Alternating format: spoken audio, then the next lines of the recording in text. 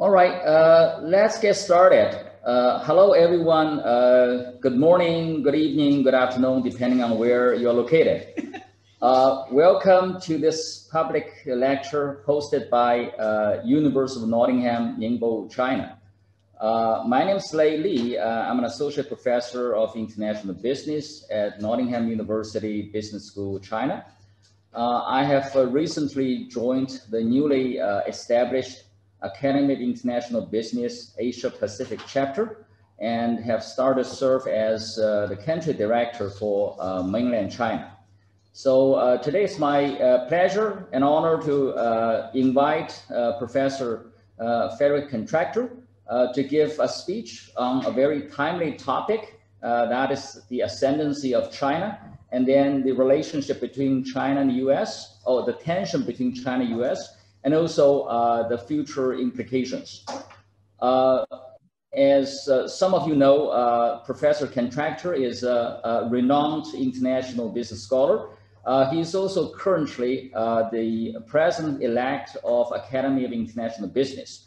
And uh, Professor Contract will be introduced a little bit more uh, just in a minute. Be introduced a little bit more uh, just in a minute. in addition to the speaker, uh, we also have uh, a panel. Uh, so, you know, I'm very glad Professor Martin Lockett, Dean of Nottingham University Business, Business School China, is on panel. he will introduce Professor Contractor just in a minute, and he will also participate in the discussion after the speech. Uh, I'm also uh, very delighted uh, to have Professor Changqi Wu to be on the panel. Many of you know uh, Professor uh, Changqi Wu um, as a distinguished professor uh, at Guanghua School of Management, Peking University. Uh, he was also uh, the chair of AIB China chapter for many years. Uh, you know, in addition to his position at Peking University, he's now also the dean and chair professor of Shandong University School of Management. Uh, so uh, Professor uh, Chang can you wave your hand and for a moment? All right. Thank okay. You. Thank you. Yeah. And, uh, and I want to express my uh, particular uh, appreciation to Mr. Andy Purdy, who is the Chief Security Officer of Huawei Technologies USA. Uh, Andy and I uh, happened to be in uh, a, you know, a forum uh, several weeks ago, and Andy shared a lot of uh, really and uh, insights about in the context of the U.S.-China relationship and also today's you know global business world. so welcome, Andy. Can you please wave your hand for a moment? Yeah. Okay. Thank you. Uh, and, I'm also on the panel, uh, uh, you know, but more importantly, I'm the moderator of today's event. Okay, so without further ado, let me turn. Okay, so without further ado, let me turn over to uh, Dean Martin Lockett to introduce our speaker, Professor Contractor. Thanks very much indeed, Lei. Uh, I mean, it's great uh, to be here in China at the University of Nottingham, Ningbo, and uh, to be, in a way, have one of the first events of the newly reformed Asia Pacific chapter, uh, the China Group. So delighted that, and I'm particularly delighted to be able to, to welcome Farok Contractor. Um, he's a distinguished professor of management and global business. Now that's both his title and it's the reality. He is very distinguished. Uh, he's based at Rutgers Business School. He's a fellow of the Academy of International Business which is just a, a representation of the uh, depth of his work that includes 10 books, 150 articles. Um, he's got uh, a combination of uh, business and engineering degrees uh, from different countries, different universities. Uh, so from Wharton School, from Michigan, and from Bombay. Uh, and what, what his research has focused on is some of the key issues in international business. And today, one of those key issues is the move away from what looked like an inexorable trend towards globalization. And uh, now it is much more fragmented, much more mixed. So I'm really delighted that he's able to talk to us today, uh, talking about China's strained relationship between the US and China, and then looking at continued future cooperation. Because many people uh, have argued this is actually will be more productive to everybody to have continued cooperation, even in a new international context. So I'd like to hand over to him uh, to give his talk, and it'll be then followed by a panel discussion.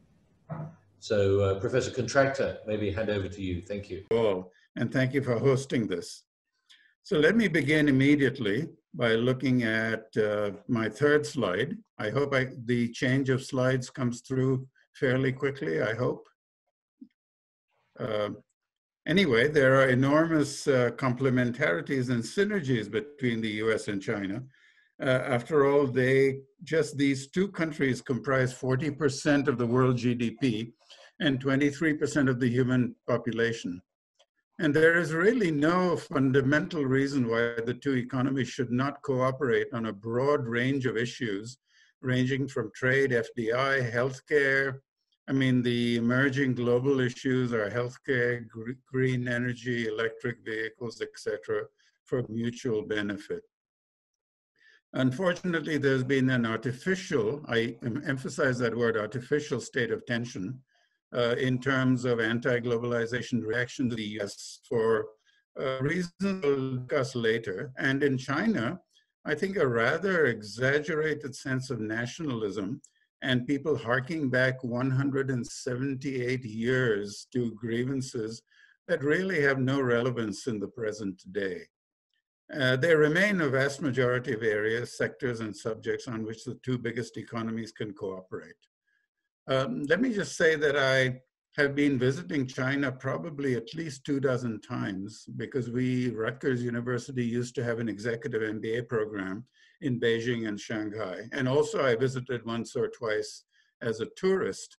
And over the years, it's just been a thrill for me to see uh, the country transformed from people with blue colored garments riding bicycles and an occasional black colored vehicle to where now there are rather distressing traffic jams and uh, uh, people wearing blue jeans and so on. So I guess what I'm saying is uh, when a country progresses, when it grows more affluent, this is something we can all rejoice in uh, because it's part of uh, humanity. Unfortunately, under the last four years, we've seen this kind of uh, tit for tat. This is just a cartoon from The Economist magazine. And tariffs really, for the most part, amount to shooting oneself in the foot. That's the uh, message over here. Um, let's see what happened in the as a result of the Trump tariffs. The U.S. deficit with China shrank somewhat in 2019. But you can see from this graph that the US trade deficit with the rest of the world became even worse. And in terms of jobs in the USA, uh, here is the rather dismal to mediocre outcome, which is that in, in import competing sectors, US jobs did increase by a mere 0.3%, but manufacturing overall jobs in manufacturing overall fell by 1.1% because of the higher cost of imported uh, goods, imported components, etc., because of the tariffs, and by about 0.7% because of retaliatory tariffs imposed by China. So the overall effect of all of this was I, you know, we all know that as students of international business was going to happen. The overall effect on jobs was somewhat negative. What I'm going to cover today is a discussion of what's at stake in the relationship between these two biggest countries in terms of both trade, FDI. Then I, we can ask how dependent is the US consumer on Chinese products? Uh, because politicians in the United States, they claim falsely that wherever you go, uh, things are made in China, and that is displacing American production. Well, actually, it turns out that Chinese made products are only a small fraction of what the American consumer spends uh, each household. And in terms of bringing jobs back to the United States, is that feasible? What is the role of global manufacturing? In general, uh, people have said in the United States, both politicians and pundits, that there's something wrong with American manufacturing and it's in decline. Well, actually, the opposite is true, which I will show figures on. Uh, then there's the accusation that the RMB or the yuan or the CNY, whatever you want to call it, is undervalued. And that's an accusation not just by Donald Trump, but goes all the way back to, uh, I think, Ronald Reagan, who made the first uh, such accusation. We can very briefly, in one or two slides, talk about dollar surplus recycling, uh, security concerns and cyber espionage, and accusations of dumping. And finally, concluding by saying what are the mutual benefits that are at risk. Let me go to the next slide. Um, on my screen, a part of my slide is cut off, but I hope you can see it in its entirety. Is that correct? Okay. So this is um, the last complete year's figures. Of course, we all know that starting in January 2020, things all around the world went downhill. But let's look at the picture for the first complete year, which is 2019. The US exported only 180 billion to China, but imported 477, which would create an enormous deficit if it was goods alone of 345 billion, ameliorated somewhat or compensated somewhat by the fact that in services, the US is preeminently the world's biggest exporter. So there's a surplus in services to make the overall deficit 297 billion.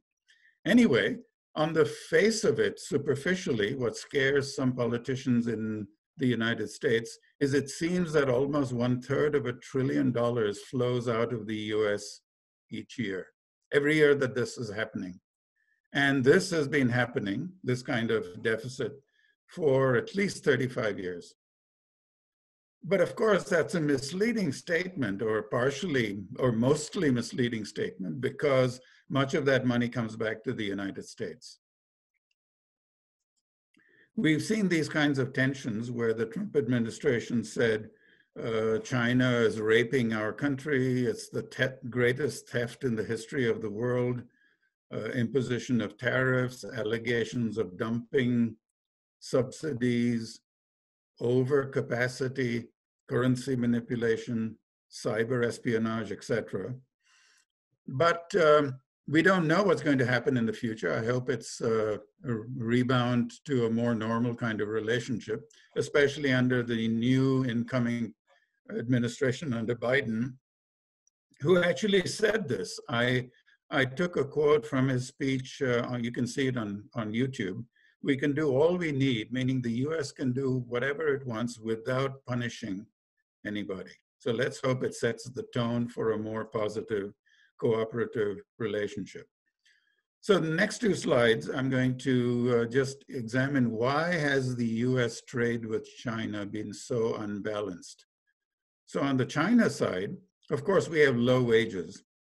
The all China average, if you include interior villages and mountains and so on, it's $1.80.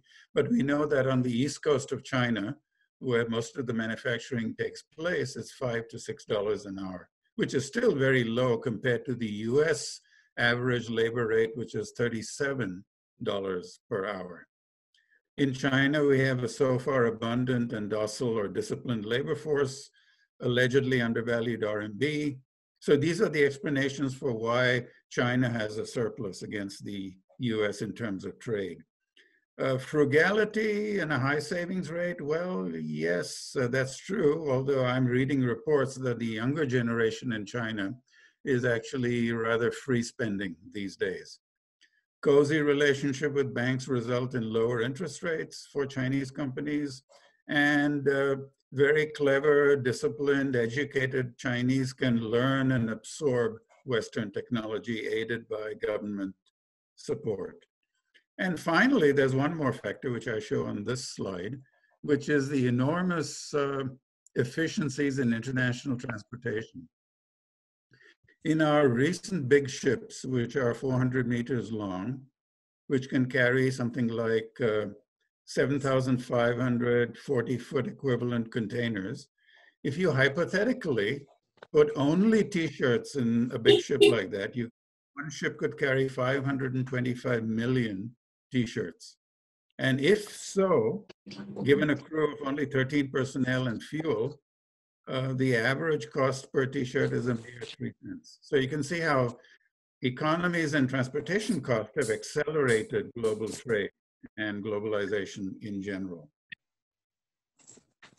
On the US side, we're talking about why China runs a trade surplus against the United States.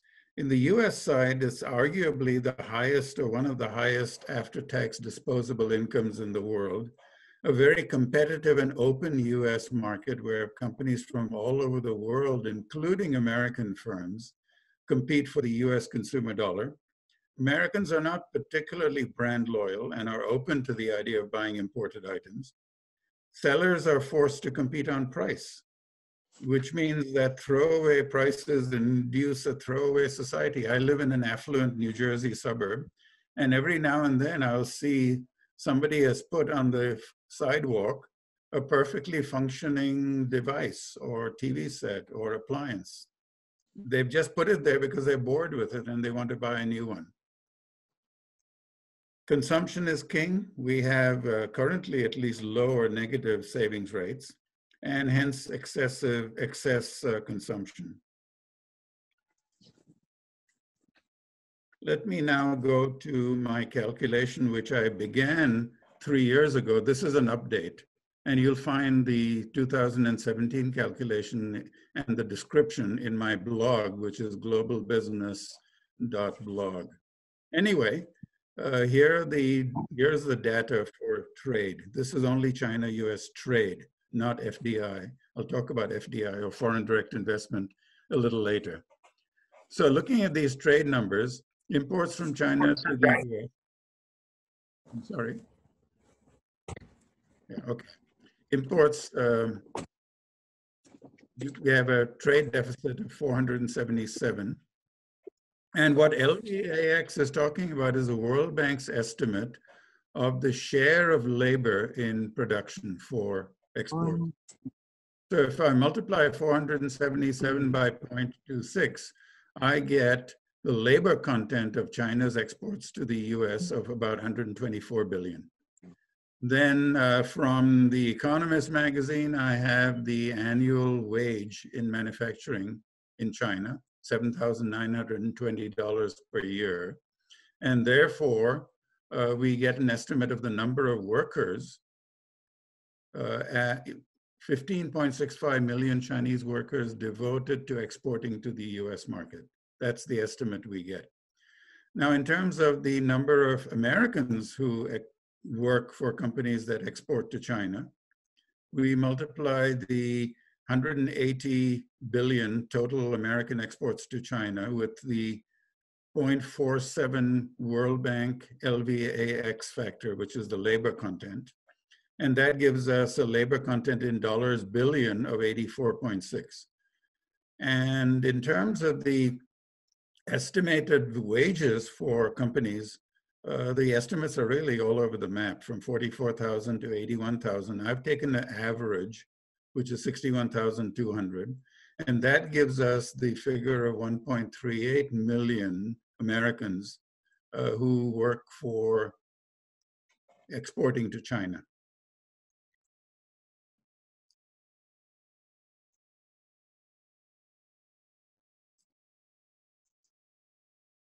And so this is from the World Bank.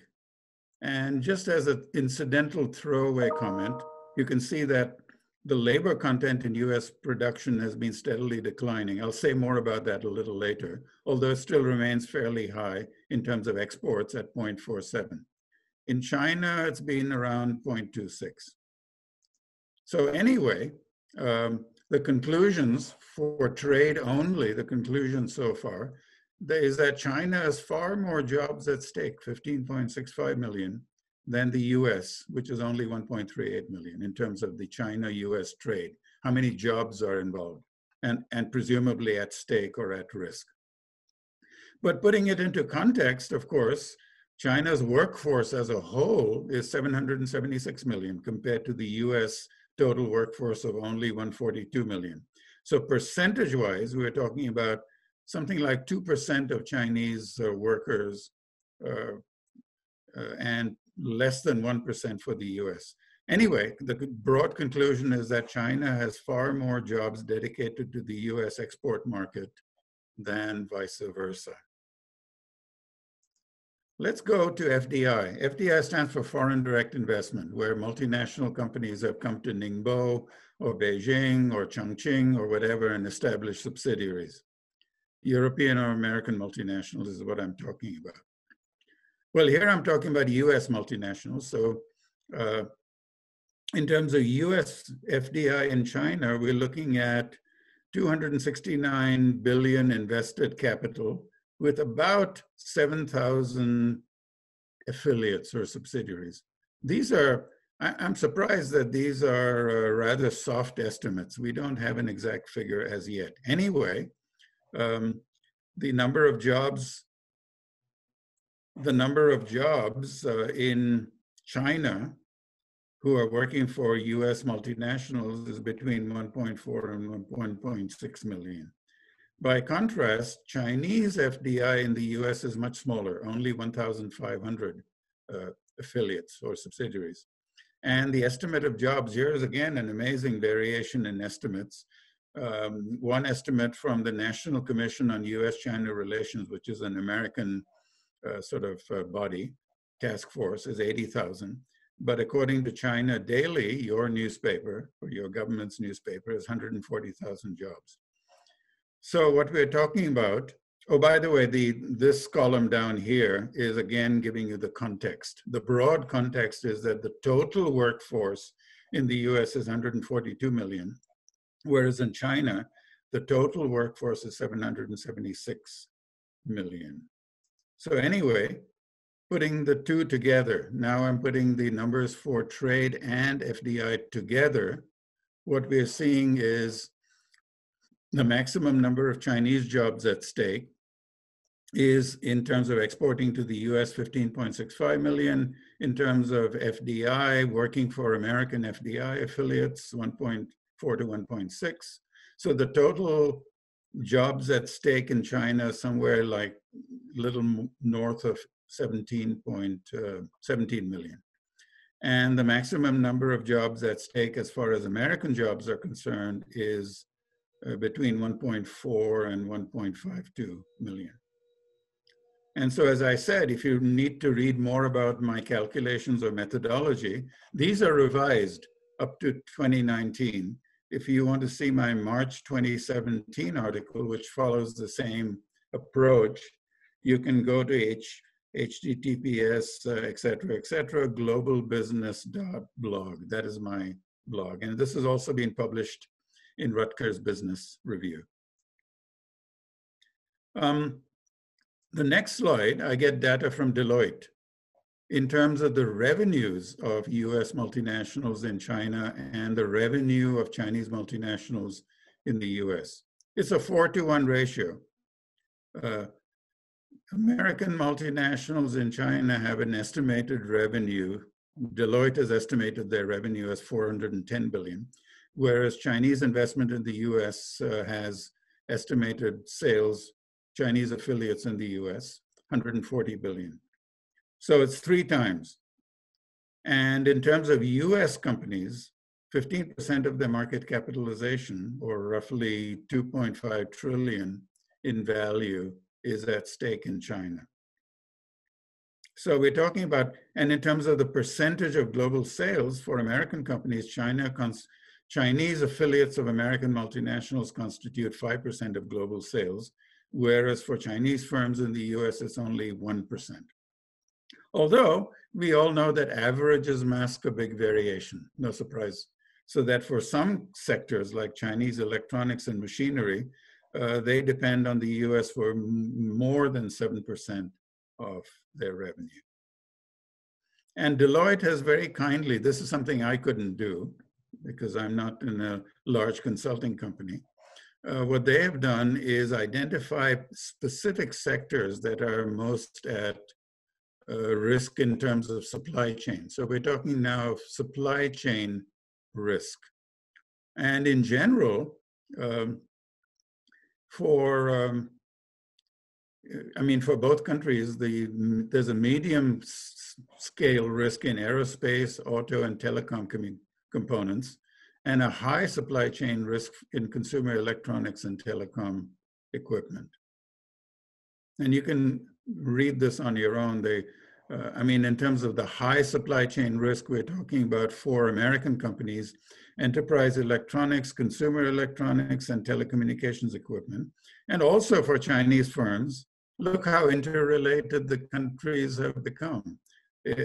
Enterprise electronics, consumer electronics, and telecommunications equipment. So there's a mutual vulnerability there. And regrettably, there's now the beginnings of a decoupling or disengagement, especially in telecommunications. Uh, this is something I put together to argue that if you look only at trade data, it is just half the picture because trade is one side of the coin and FDI or foreign direct investment is the other side of the coin. So looking at only trade statistics is scary to less than fully informed politicians in the United States. Let me give you an example. These, uh, these are numbers from 2017-18. So if you look at uh, category uh, A, this is American exports to China, 187 billion. Let's look at category C. Chinese exports to the United States, 524 billion. So if you look only at trade, C minus A gives us a rather scary trade deficit of 337 billion. But my argument is that's only one side of the coin. Let's put it together from the consumer's point of view. From the Chinese consumer's point of view, the so-called American or you know U.S. company goods would be A plus B. A, of course, is uh, imports from the United States, but B is the sales by American multinational companies in the Chinese domestic market, and that was around 275 billion. Again, these are rather soft estimates, but I think they're in the ballpark. So if you add A plus B from the eyes of the Chinese consumer buying so-called American products, you're looking at 462 billion. Similarly, from the eyes of the American customer, buying so-called Chinese items through either C or D, C being direct imports, D being sales by Chinese companies in the US, the, the C plus D adds up to 538 billion.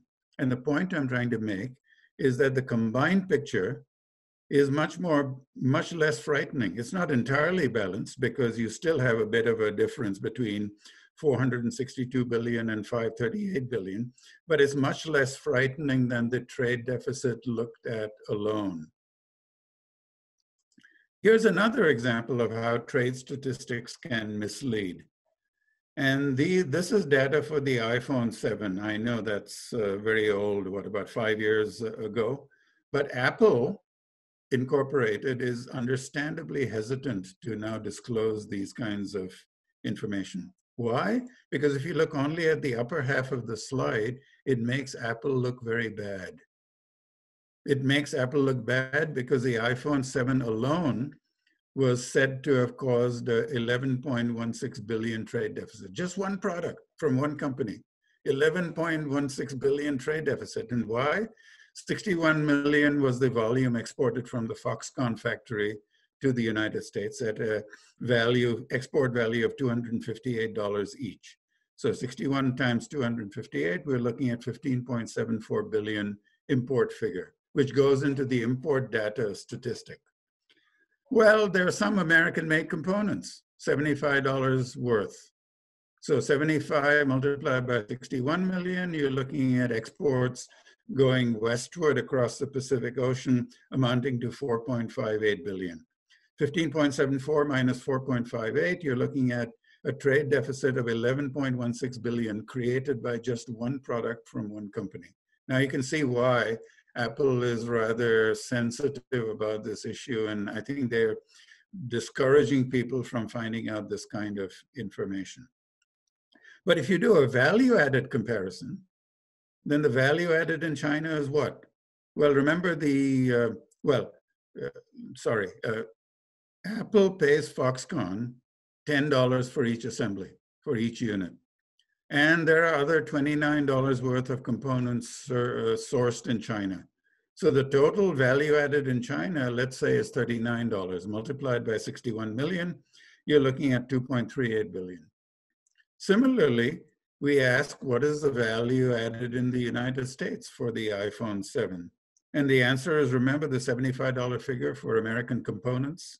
Multiply that by 61 million, you're looking at 4.58 billion. So on a value added comparison, the US actually has a surplus, which is quite the opposite picture from if you look at trade data alone. And that's not the end of the story because the retail price or value of the iPhone 7 was something like $649. So then the question is 649 minus the 258 paid by Apple to Foxconn gives a margin of $391 at Apple Inc. in the United States. And I asked my students this uh, rather silly question Is $391 uh, the profit margin earned by Apple on each iPhone? And the answer is, of course, not. Because out of this $391 margin, Apple has to pay for its brilliant R&D people, its designers, its marketing, its advertising. And only then what's left over you can call pure profit for Apple. So the point is if you include the R&D, the design, the marketing, etc., value added in the US, overwhelmingly the value of the iPhone 7 is added in the United States and not in China. So the point I was trying to make is you see how trade statistics can mislead and unnecessarily scare uh, less than fully informed politicians. Uh, my next slide is going to talk about how much does the American consumer spend on Chinese products. If you believe some politicians, uh, you know, everywhere you look in the United States, especially in Walmart, which is a low-end uh, product uh, store, meaning a mass marketing, you would think that everything is made in China. But actually, the figure is uh, very little. According to the San Francisco Federal Reserve Board, final goods imported from China constituted only 1.2% of household consumer expenditures. Um, another um, from this another piece of data from the Census Bureau says it was 2.7% only. Of course, those figures add up to something. So let's uh, look at the numbers. Total consumer spending in the United States each year is something like 12.6 trillion in 2019. Of that, let's say 30% is in goods. The rest is in services. So 30% of 12.6 uh, is 3,780 billion. If we take the 2.7% figure from the Census Bureau in the United States, multiply 3780 by 0.027, we get an estimate of 102 billion made in China imports on which American consumers spend money. There's a high estimate. If we go back to the trade data, we notice that imports from China, uh, 452 billion, and divide that by the 12,600 expenditure, you're looking at a 3.59% that the American consumer on average is supposed to spend on Chinese made products. So the conclusion is overall, despite what uh, people might say either in the White House or in Congress, Americans actually spend very little on Chinese imported goods. So then the question is, uh, what about American manufacturing? And this is from the Federal Reserve Bank of St. Louis. And you can see that in 1979, the number of manufacturing jobs in the United States reached a peak of 19.5 or almost 20,000. Uh, I'm sorry, 20 million. This is in thousands of persons But the number of jobs has declined precipitously to around uh, 12 million by the year uh, 2018. Not only that, but the red line shows a graph all the way from 1940 to the present or near the present. And you can see it's an inexorable downward trend. And the point I'm trying to make is that China only joined the WTO in December of 2001. So you can't possibly accuse China of being responsible for the decline in American manufacturing jobs from the 1940s all the way to 2001. That was a natural process, which I will shortly describe. This graph is saying the same thing, that even recently, even over this six uh, or seven year period from 2010 to 2016, while American manufacturing output kept increasing, and by the way, it's a record high. Have I skipped over some slides here? What's going on? Um, I'm sorry about that. Let me go back a bit.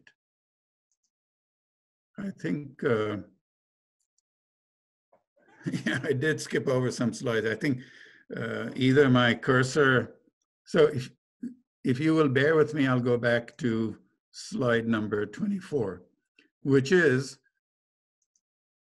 provoked by this statement by the President of the United States that it will bring, bring jobs back from China.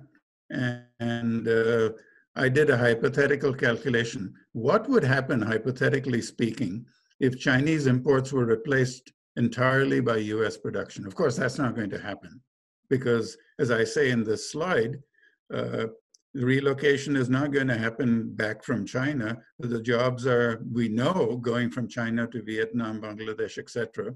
Because with the rising labor costs in China, Chinese companies are themselves abandoning production in the US and doing their own foreign direct investment in Vietnam, Bangladesh, in order to take advantage of uh, cheaper uh, wages and also to circumvent, I guess, the threatened uh, the or real Trump, Trump tariffs. So I did a hypothetical calculation here saying what would happen if Chinese imports were stopped and replaced by American uh, production. So uh, if you look at the Chinese labor content in the 102.6 billion in imports, you're looking at 30 billion in Chinese wages. American wages are eight times Chinese wages. And therefore, if we multiply that 30.62 billion by eight, we get equivalent US wages of 244.9 billion. Subtract from that the Chinese wages, and you're talking about additional wage cost of 214 billion. And the number of households, as I've said earlier, is about 124 million. And therefore, dividing the numbers, we get an extra cost of $1,728 per household per year if Chinese imports were stopped and replaced by US production. There's a high estimate from the previous slide. Remember the high estimate from the previous slide was 3.59%, whereas the low estimate was 2.7%. So the high estimate would mean, just to cut a long story short, take the 728 number and multiply it by 3.59 over 2.7, and we're talking about $22.98 per household additional cost if Chinese imports were stopped and everything was produced in the United States. Now for affluent Americans, around $2,000 extra cost per year per household is not, it's manageable. It's not a big deal. But the bottom 30% of Americans, it would be a burden.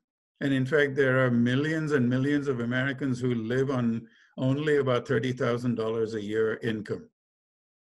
So for them to pay this extra cost would be a big burden. And nobody talks about this, that the burden of tariffs, the burden of uh, any kind of disruption is disproportionately borne by the lower income segments of the population. Anyway, let me move to uh, US manufacturing uh, most people don't realize this, certainly in the United States, that it wasn't until 2011, recently, that China overtook the US as the number one manufacturer in the world. You know, most people don't realize that until recently, the US was the biggest manufacturer in the world. There's nothing wrong with American manufacturing. And uh, just to make reinforce my point, another graph from the Federal Reserve Bank of St. Louis, and you can see that American manufacturing output value continues to increase. Of course, there are dips in recessions like the 2008 recession, but until January 2020, American manufacturing was at a record high and not too far behind China which overtook the US in uh, 2011. But these are figures from 2019. The US is a very close second, even beating Japan, Germany, etc. So this is a list of the top manufacturing countries in the world. Of course, as a side comment, I mean, I'm just going off in a bit of a side discussion here. The kinds of things that China manufactures, especially for exports, compared to the kinds of things that the US manufactures, it's a bit different. So here's your company from Ningbo, Ningbo Yangfa Industry Limited, which is advertised on Alibaba or whatever, uh, to American importers saying if you order at least a thousand units, the average cost of the toaster will be between five and ten dollars per unit. And the average cost of a Boeing 737, actually these are depressed prices because you know some of them crashed, is 82 million. So actually one Boeing 737 is equivalent to 10.9 million Chinese toasters. Now I know, I know very well that China has upgraded its technology and in certain areas is on par or let's say in ele electric vehicles and solar and so on is actually ahead of the United States. But still for the most part what China manufactures and exports to the world is basic stuff like toasters and not high-tech high-tech stuff like Boeing aircraft. Although having said that, I know many what many of you are thinking. You're thinking of a Chinese company called Comac which is just about to or has already uh, uh, come up with a prototype of a more than 100 seat commercial aircraft. So China is coming up in the world, we all know that, but I'm just making a statement that in a way to compare the 2 trillion with the 1.8 trillion figure is uh, not the complete story because the composition of Chinese manufacturers versus US manufacturers is somewhat different. Anyway, we were I was I was talking about this slide. Somehow the my cursor must have jumped to this one, and the point is that the point is that American manufacturing jobs have been declining, not just since China joined the WTO in 2001, but all the way back from the 1940s. So what's going on? What explains the fact that that manufacturing output of the United States keeps going up, up, up every year, at least until January of this year, and then we know what happened, where manufacturing jobs uh, keep going down. This is a paper that is forthcoming in Management and Organization Review. It's been just been accepted. And I talk about things like the root cause of the offshoring, automation, and you know, a, a root cause of decline of manufacturing jobs. And the visible effects are in the bottom half of the US population, declining or stagnant living standards. You know, something really psychologically traumatic has happened in the United States. For more than 200 years, until 2014, if you asked parents, will your children, will your children be better off? They would say yes. But Pew Research Center, which is a big uh, polling company in the United States, did a survey in 2014 and 2015 onward, etc. And they found that now less than one half of parents answer that question positively. And uh, I think the most recent survey, only 37% of American parents said that their children are expected to be better off than themselves. And that is psychologically devastating for a country that for more than two centuries has seen this continuous expectation that the American dream, that the children will be better off than their parents.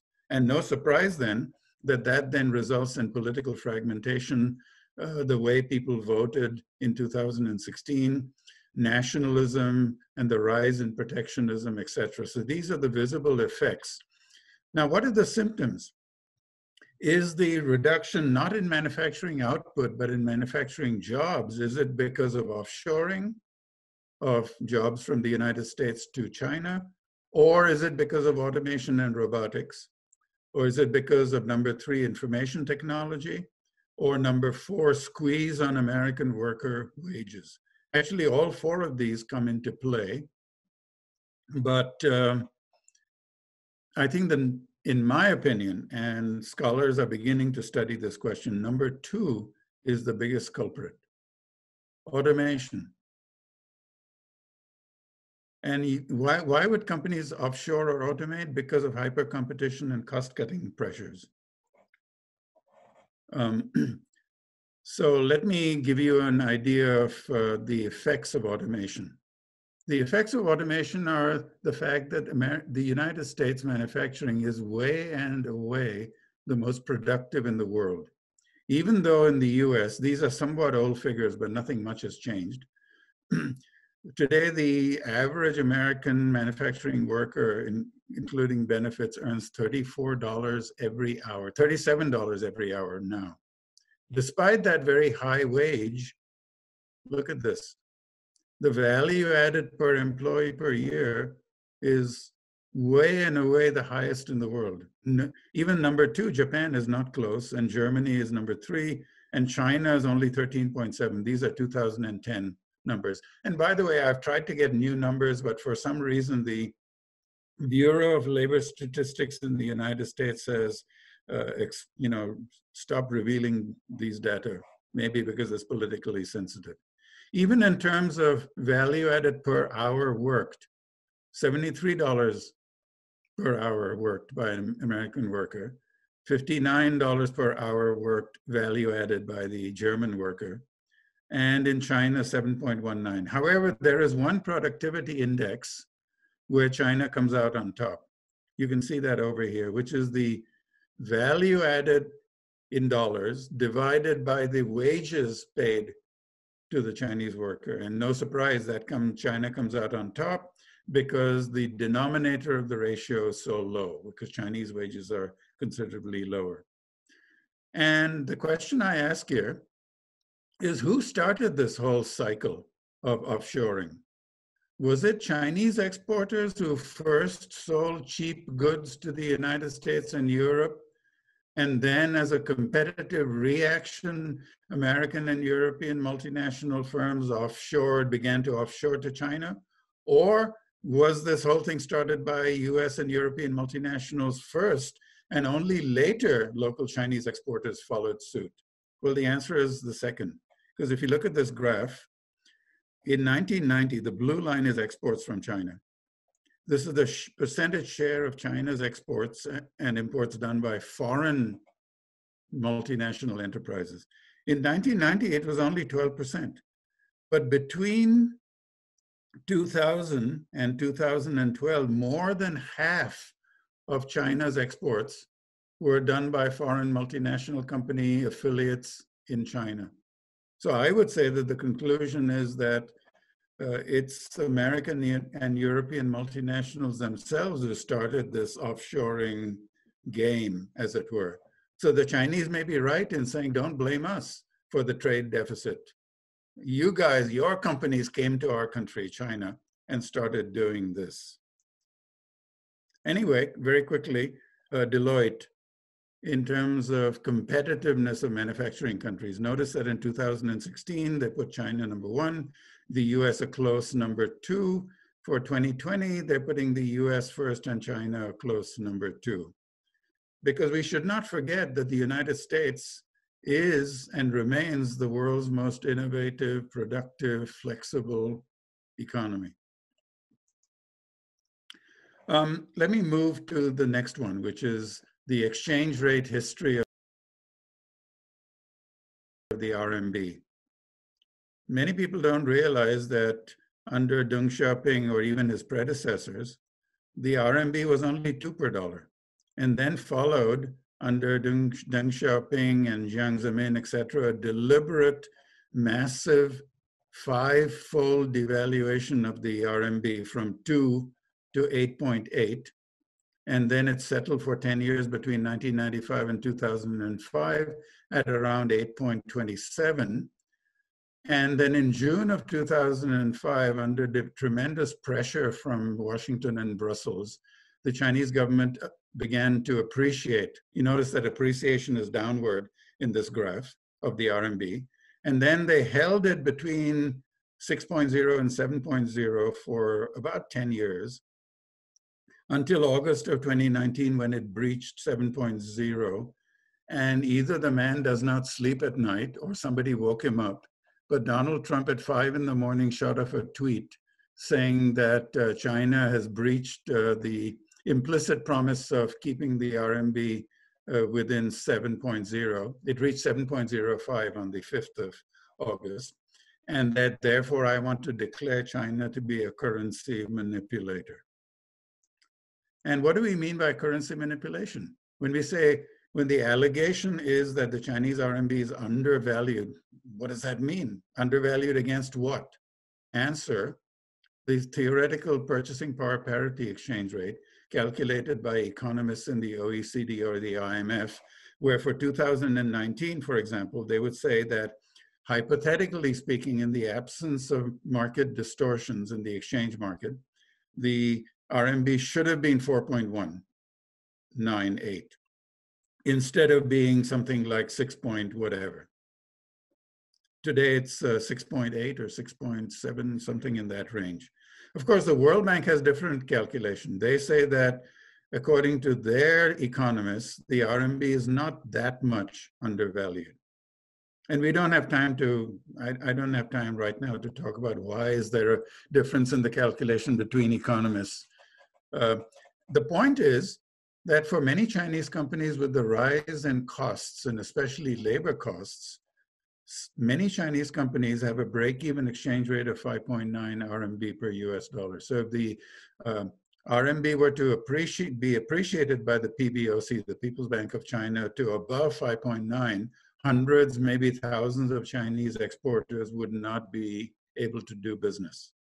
But at the same token, by the same token, the Chinese government doesn't want the RMB to devalue too much either, because that would trigger an outflow of, uh, of capital. I don't have time to talk about that. So they're holding it today at something like 6.7. This slide is talking about the dollar surplus recycling into US uh, Treasury debt, into corporate debt, into agency debt, and US equity or share market. Very quick conclusions. Most of the assets are held by American citizens and American entities. Chinese holdings of US government debt, if we multiply this 0.29 figure by the 0.173 factor, we're talking about at most 5%. And even if you add the third party or Hong Kong or Cayman Islands kind of investment, meaning Chinese won't directly bid at the auction, but go through third parties, even then you're looking at no more than 8% in my estimate of Chinese investment in US Treasury bonds. And this kind of foreign buying of US assets reduces interest rates in the United States, which is a good thing for American consumers who have mortgages and car payments. It maintains the value of the US dollar. Um, How are we doing on time? I know we are approaching 55 minutes since I began. Shall I continue or stop?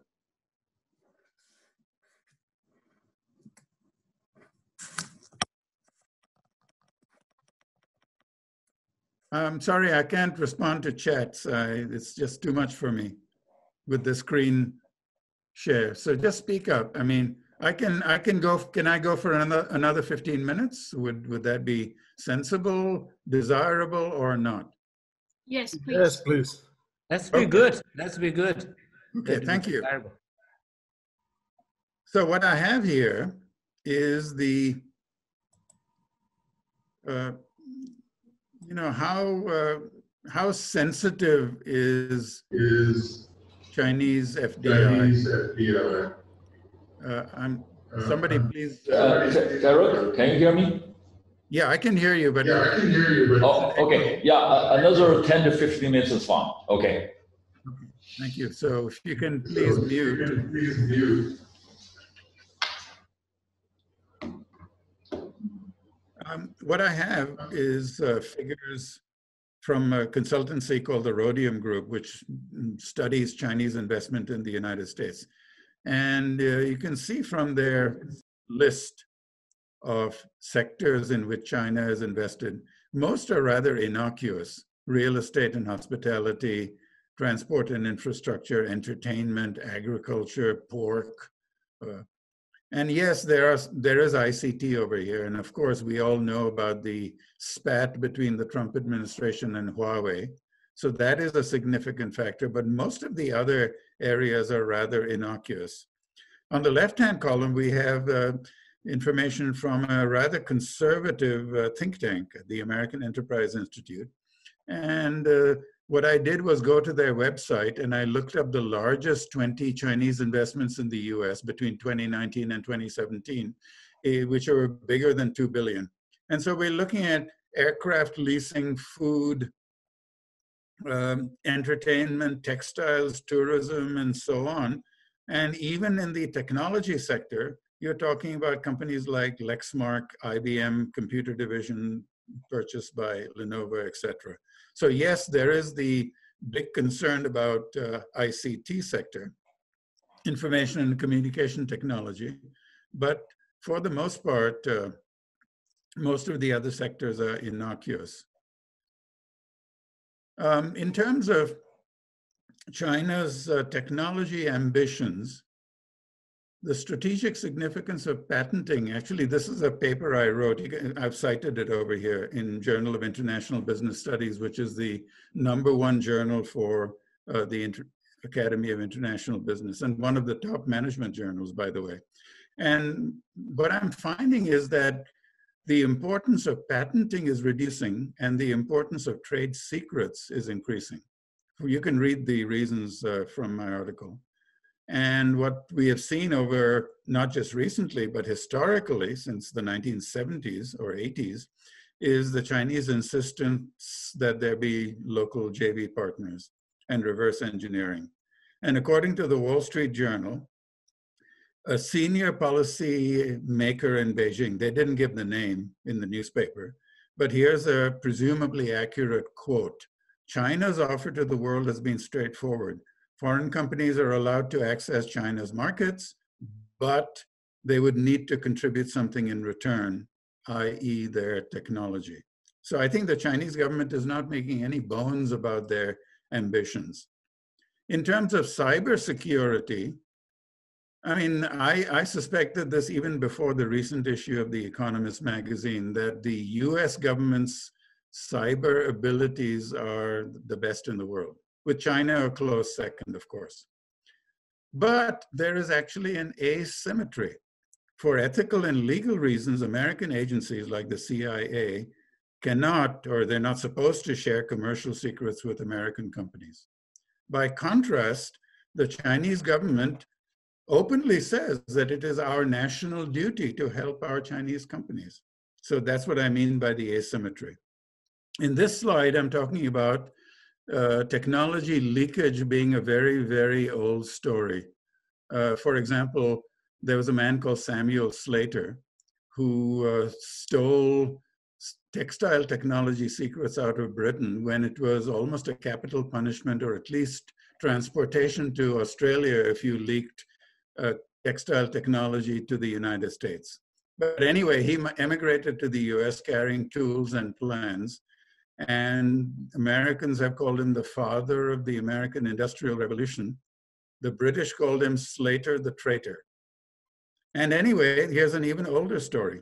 Silk production was a closely guarded secret in China until 552 AD, when two visiting monks smuggled silkworms back in hollow walking sticks back to Byzantium. And of course, China had a monopoly on tea until 1861. And many people tried to smuggle out tea plants from China to other countries. It didn't work. Actually, what happened was that a British guy on the southern foothills of the Himalayas found a similar plant in 1861. I'm going to wrap this up. Anyway, uh, so yes, this has been going on, you know, leakage of technology has been going on for centuries, but in the 21st century, it's a much more serious matter because R&D sales ratios have dramatically increased.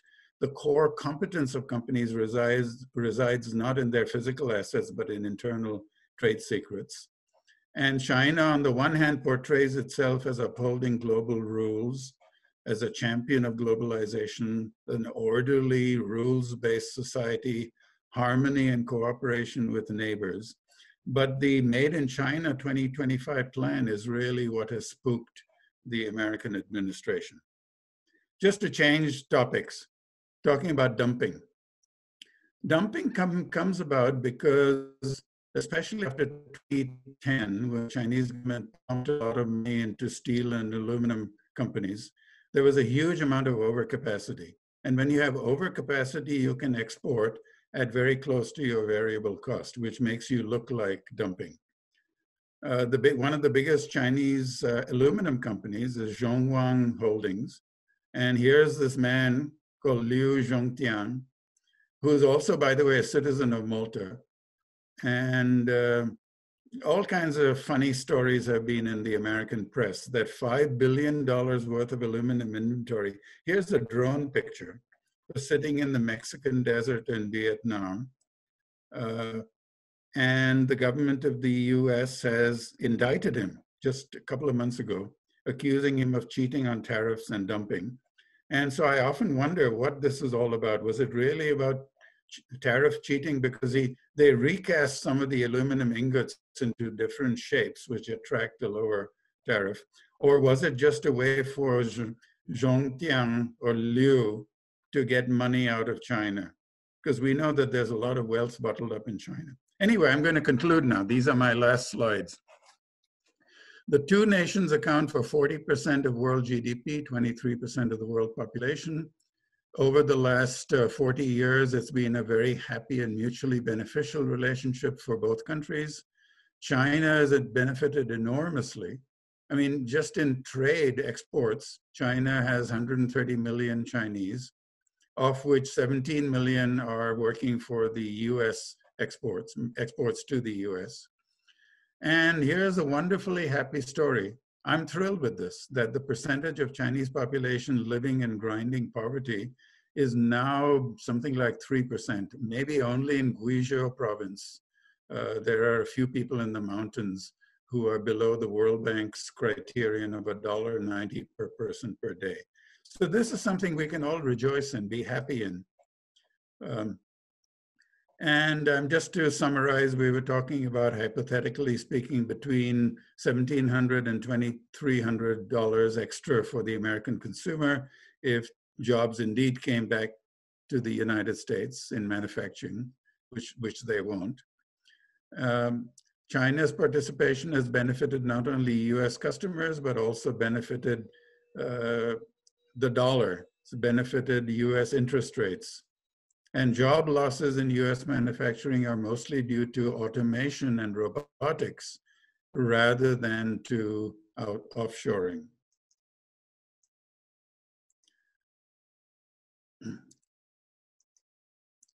Um, the few, in the in the future, how can we return to mutually beneficial policies?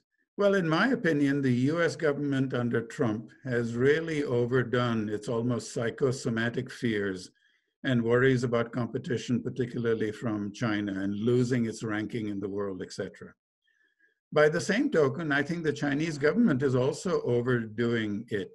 And in its own dreams, it has, um, I mean, you can comment on this as an inferiority complex. And all these things about the wolf warriors uh, depicted on Chinese media, it's almost as if uh, uh, it's like a teenager who has recently developed muscles, despite the fact that China is one of the world's oldest civilizations. So there should be wisdom and moderation.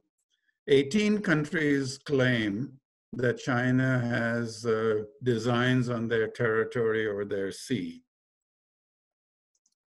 Um, I guess what I'm saying is that life is full of inverted U-shaped curves like this. That you do something up to a point is good. So even nationalism, protectionism, caution, suspicion, irritation, up to a point are okay, they're good.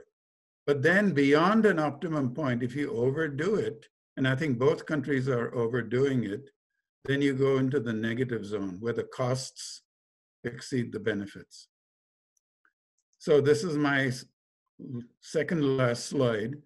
Uh, Confucius and the Buddha are talking about uh, love being much more productive than hate.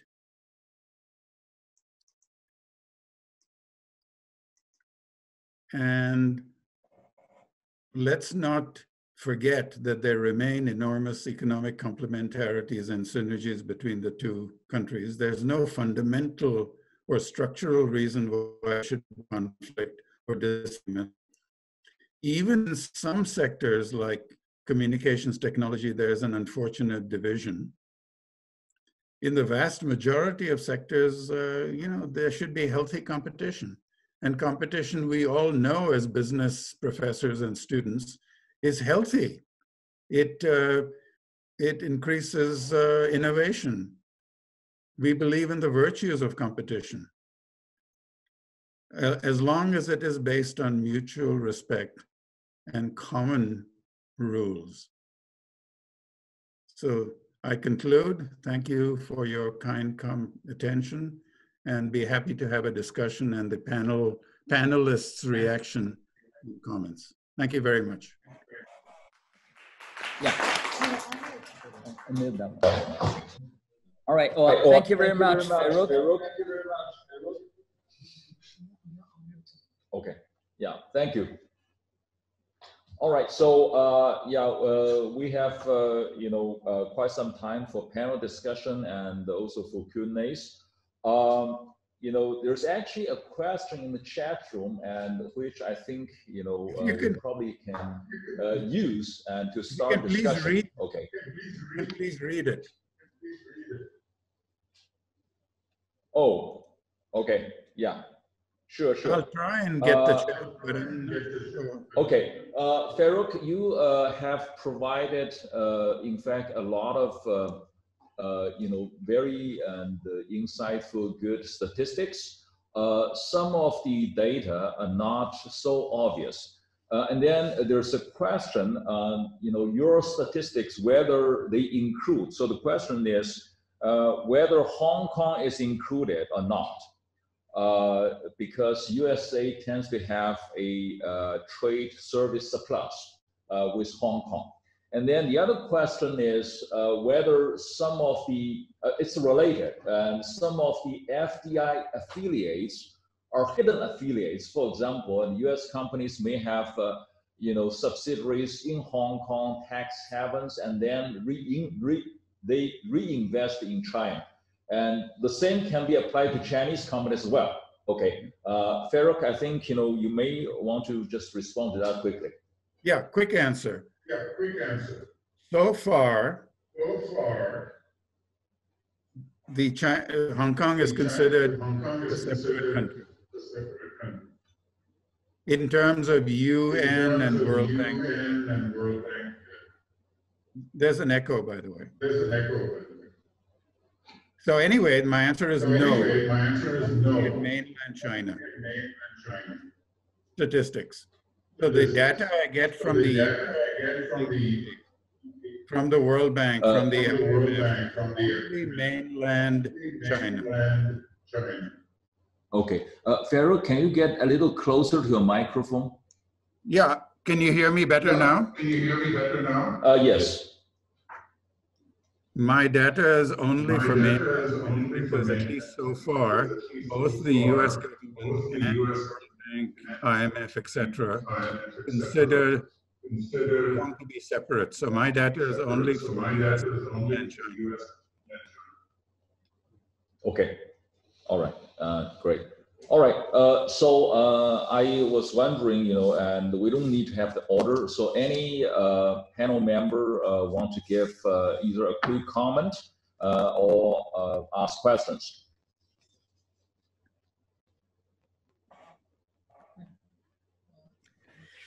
Okay, uh, Okay, Professor, I, I would say uh, because uh, you can silence your microphone. And actually, I'm uh, in a PG uh, course, the last meeting for my PG course in this semester. The topic, Professor Contractor, is on your favorite. Actually, you made your name about technology transfer. So I asked them to understand your work.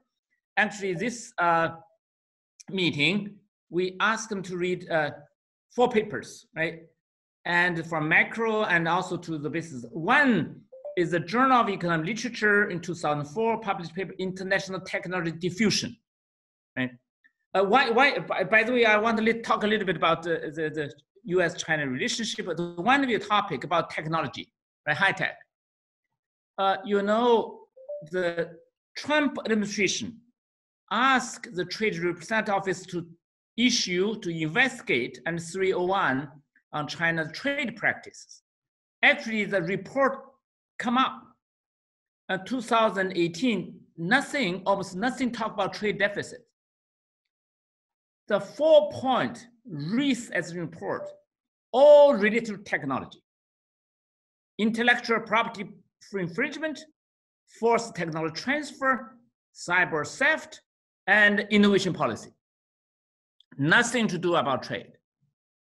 So what actually I mean get interested is why this, and actually you see by reading the papers talk about actually uh, the productivity growth of of nations across countries. 90% are contributed to foreign technology. Actually, that essentially the technology flow across borders a common phenomenon, right? A common phenomenon. So, okay, okay of course, to read annual das capta knowledge flow among multinationals. My, my, of course, your early time the technology transfers, that is uh, a inter-firm royalty settlement and other things, right? But actually, currently there are a lot of intra-firm. I'm thinking of this, typically we, we think about that when I, of course, one topic of the economics multinationals. Multinational. Actually, economic multinational, economic multinational enterprises to be existent, largely due to the transfer the firm-specific intangibles across borders. Right? That's why the multinational exists, FDI. But so the natural for multinational from US, from Japan, transfers technology into China. So that's why China made enormous technological growth. But the problem now is that, uh, uh, of course, I just uh, ask your opinion, right? Ask your opinion. I, I, a, it's a, a um, you as a really authoritative, very authoritative person in that regard, right? What can you see? Because that's a contradictory issue. For firms, multinational to be strong in market like China, right? They must have technological flow, right? On the other hand, the in the international relations between countries, right? Yes, there's some political and other part of the opinion. Uh, sometimes block or the opinion. That's what what how can reconcile that uh, motivation for multinational enterprises to engage such kind of thing, or the politicians or political will to somewhat uh, uh, get into between, right? That's uh, my question also, uh, my, my, please, thank you.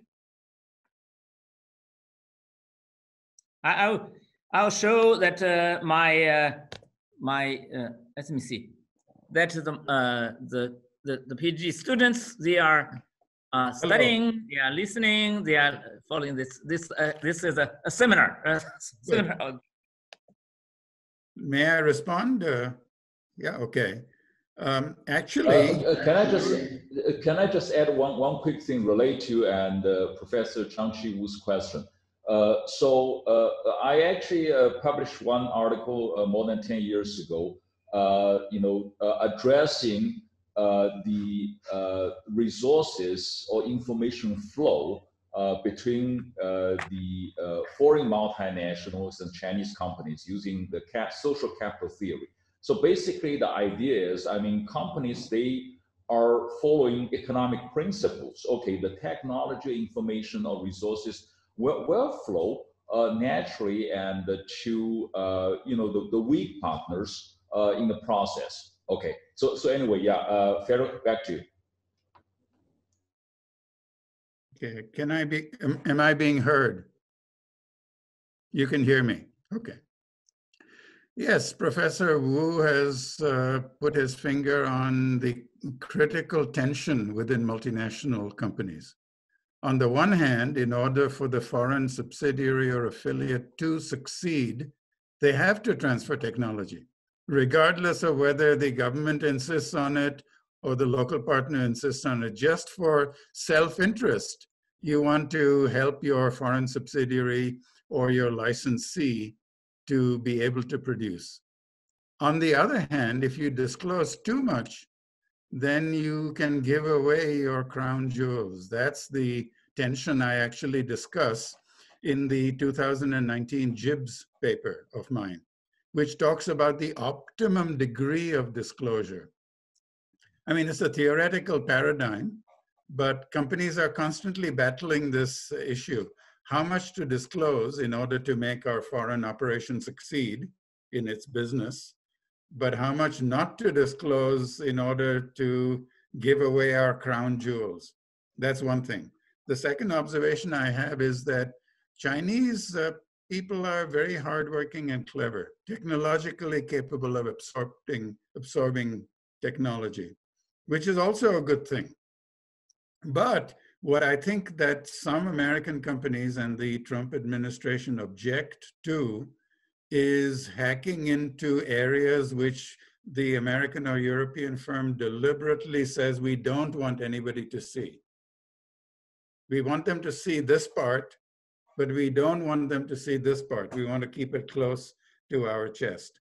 So that's what they are objecting to the uh, the prying and the you know the so on. But even that uh, is some somewhat very difficult to prevent. Let's say you have a Chinese engineer working for the European company affiliate in China. The engineer will learn. They're clever people. They're capable people, and quit the job and go to a competitor. And yes, there are such things I discuss in my article as non-disclosure agreements, but they're really not enforceable even in the United States effectively. So technology is going to leak out. So I return to my original comment, which is that there's an internal inevitable tension between the desire to share technology in order to make your foreign operation succeed versus the danger or the fear of disclosing too much and uh, losing your technical lead over the rest of the world. So the optimum disclosure point, that's a paradigm I see in my 2019 JIBS article. Yes. Also, uh, as a follow-up, this is a intellectual property, right? I think you mentioned. I think my understanding, your most recent paper uh, talk about actually there's some this for the company, multinational company, to decide which part they want to keep it a secret. No, know-how, and other part they may apply for intellectual property. the patent and other things, right? And uh, maybe licensing, they get to receive some royalties based on the licensing fee and otherwise, right? The income, right? That's good. Very thank you. So my, my point is in the article, you can read more that companies are now getting more and more concerned or shying away from patenting for reasons I discussed, because patents are not always enforceable. The very act of filing a patent can disclose too much to your competitors, et cetera, et cetera. And instead, so there's been a shying away from patenting and more trade secrets.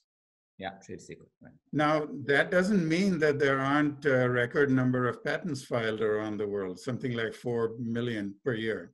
And that is simply because uh, the patent filing fee is not that uh, much of an obstacle. So companies will file patents even if they know it's really not valuable or defensible, because then it becomes a marketing thing. You put on your company puts on its website saying, oh, this is a patented item. It looks glamorous to viewers of the website. So because there's a greater emphasis in the last 10 years on trade secrets and a reduced emphasis on patents, uh, trade secrets are all the more critical as crown jewels, and therefore they don't want the secrets to be hacked into or revealed to competitors. That's all. Yeah, maybe I can uh, build on that and make a Technology comment. speed develops so rapidly. Right? The lead time probably is better than. Right. Okay, Martin. Yeah, maybe I can build on that, make a comment. Um, I think you can see uh, three things here. Uh, one is patents, which by their nature you have to disclose a fair amount of information into the public domain. And you do this now internationally. You can see it on the internet from any country to any other country. In the past, you used to have to go to the patent office to look at it and things like that. So that information is now actually the cost of getting uh, information from patents is much lower. You've got that. You've then got actually the capacity that's embodied in people. So, uh, do you have people who are able to, in a broad sense, reverse engineer? So, it's good that do people have the skills to be able to develop their own products that are the equivalent. And clearly, that's where China has dramatically increased its capability.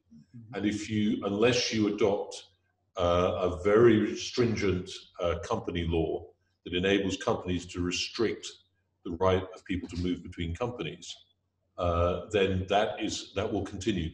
In fact, when you look at it, that's the basis of Silicon Valley. The basis of what people say are the innovation clusters is because people move between firms, uh, not hopefully taking uh, formal trade secrets, but taking that capability. And that's what actually builds those clusters of innovation, like Silicon Valley. Then the third piece is what you've described as crown jewels of uh, trade secrets. Those only really exist in some industries. Um, and so it's not necessarily generic. So it may well differ quite a lot by industry. Uh, and I say there, it may be, that, for example, the knowledge of how to use a certain machine. I'll give an old example when I was a student. There was, uh, this is for the central heating. If you do central heating, you have the uh, exhaust, which is usually uh, metal but flexible. That was a trade secret. It wasn't patented. And what happened was there were always three or four companies that made it, and sooner or later, somebody who had the skill would go away and do, set up their own business. And actually, it was really a cartel. So if they succeeded, they joined the cartel afterwards. That was what happened. This is, you know, so that's what I saw at that time. So, so this trade, you've got the combination of uh, patents and most intellectual property law mm. is around patents. It's assuming a disclosure and then preventing. And many US companies did that in order to sue people mm. and enrich, I mean, enrich lawyers at the process in order to stop other people innovating mm. rather than necessarily to protect things. That's one trend. Now we're getting a trend towards trying to avoid disclosing that so that people can uh, maintain that. So I think there's, there's dilemmas in firms. It will differ by type of firm. And you can see that on the one hand, you've got the uh, uh, uh, like a free trade, um, free trade uh, approach says it should be open, uh, saleable, etc. The other tries to uh, stop that. Mm. And I think what we're going to need to see is actually some revision to the intellectual property regimes Mhm. that recognize this and also take into account uh, things like forced technology transfer and so on, what's reasonable. And I think that if you're looking at a US China relationship, that means there's got to be a, what is seen as a reciprocal relationship that both sides abide by. That's the Thank you. Yeah, that's very pertinent. Just one, one quick thing. Uh, in fact, uh, keeping the trade secrets, that's actually a very old traditional Chinese way. Okay, by the way. All right. Um, and uh, I actually want to maybe ask uh, Andy, Andy uh, to, to share some insights uh, regarding uh, the IP uh, or technology transfer or leakage.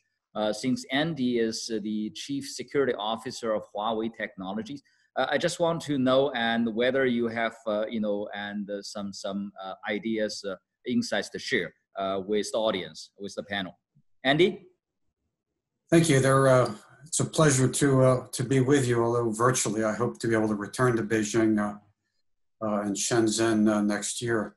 Uh, there's so many issues that are worth discussing, and we don't have time to uh, to discuss very many of them. Um, so many excellent points uh, have been made. Hi, but- hi, uh, Andy. Can you just hold on? Uh, has quit. She has exited the meeting, so you'd rather go on in oh, Yeah, and, uh, yeah. okay. My my speaker's here. Okay. Uh, you unmute. I can hear you. all right. Oh, it's, um, it's all right. Okay. Uh, uh, hi. Hello, Andy. Yeah. You you can you can go on, Andy. Um, so a couple, a couple things, and I think that the point about trade secrets is uh, uh, several points about trade secrets is very important. Huawei is one of the biggest patent filers in the world, but I think the, the points made about trade secrets are important and, uh, in terms of the various issues that come up. And I, I sometimes talk with the media questions about uh, uh, IP theft, uh, about trade secret litigation. Um, the trade secrets is really the, uh, the, the tremendous emphasis. A couple points.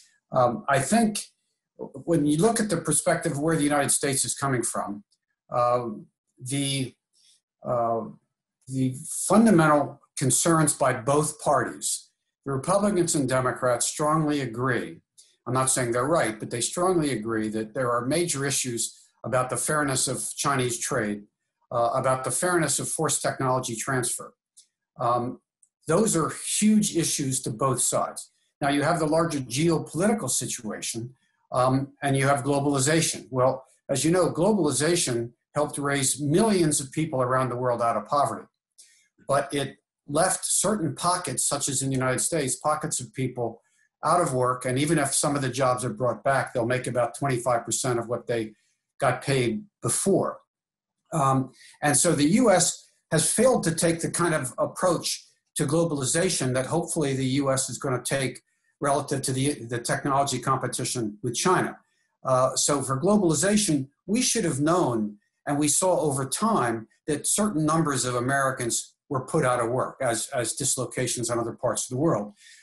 We in the US did not do anything about it. We, we did not take efforts to try to anticipate, to try to train those employees. And now, one of the things I'm encouraging is, and, and uh, Professor Contractor talked about the impact of automation on, on some of the increased efficiency of uh, American manufacturing uh, input, is I'm trying to recommend that the US needs a future of work strategy. That uh, looking forward in terms of the skills that American workers are going to need because of machine to machine automation, artificial intelligence, that there needs to be a strategy to help develop the skills of, of American workers and immigration policies to bring in qualified workers to have a strategy going forward about how can we make sure people have the training they need. Similarly when you look at distance learning and we have i guess a form of distance learning in, in, in this conversation uh, tonight you look at in the us the impact of the pandemic marginal workers underskilled unskilled workers not unlike some of the manufacturing folks who who lost their jobs they're the ones that lose their jobs the, the quickest they're the ones who, as technology moves forward, are going to be left behind. But America is starting to think about uh, distance training, but the idea of saying, let's help the unskilled and underskilled with traditional education, but also, uh, you know, the, the kinds of skills you need for future of work, uh, the kinds of skills you need for plumbing and electrician and, and, and whatever. That, but secondly, the United States needs a technology industrial strategy. The United States is ahead of technology innovation vis-a-vis China, but the US needs a private sector-led strategy, an industrial strategy for what makes the most sense for the United States to advance going forward. Uh, and those kinds of issues are, are too strategic. Uh, we have a tendency for our politicians to take the populist approach and look at short term consequences and not look at the longer term strategy of what's going to be necessary to allow the United States to maintain its competitive lead, and allow workers to continue to work, and make sure that we have discussions with China about those issues that we can reach agreement on. I'll give you one example. One of the major things that's important going forward, in my view, and it was a report of the Global Commission on the Stability of Cyberspace uh, out of Europe that reported a year ago. The idea of improving the ability to have attribution of cyber attacks, of thefts of intellectual property. We need greater attribution, we need greater technical attribution. So, so independent groups, not governments, not the UN, but independent groups can say country X or country Y or group ABC are engaging in thefts of intellectual property. We have to have attribution. We have to hold people accountable. We have to stop this kind of conduct that's been going on forever. But we have to be strategic and we have to collaborate both globally and within our countries to do so. Okay, uh, thank you, uh, Andy. Uh, but uh, I will follow up a little bit with Andy's uh, comments. That's great. Andy's comments is great because the cyberspace intellectual property and knowledge creation need to have a governance. But what I, I heard that is that uh, I think five years ago, and then at that time, President Xi Jinping proposed uh, to set up a discussion dialogue, to set up a corp that is cyberspace governance structure in Wuzhen, in Wuzhen that I think it's the internet uh, forum something but nobody responded. Uh, uh, to my knowledge, nobody responded.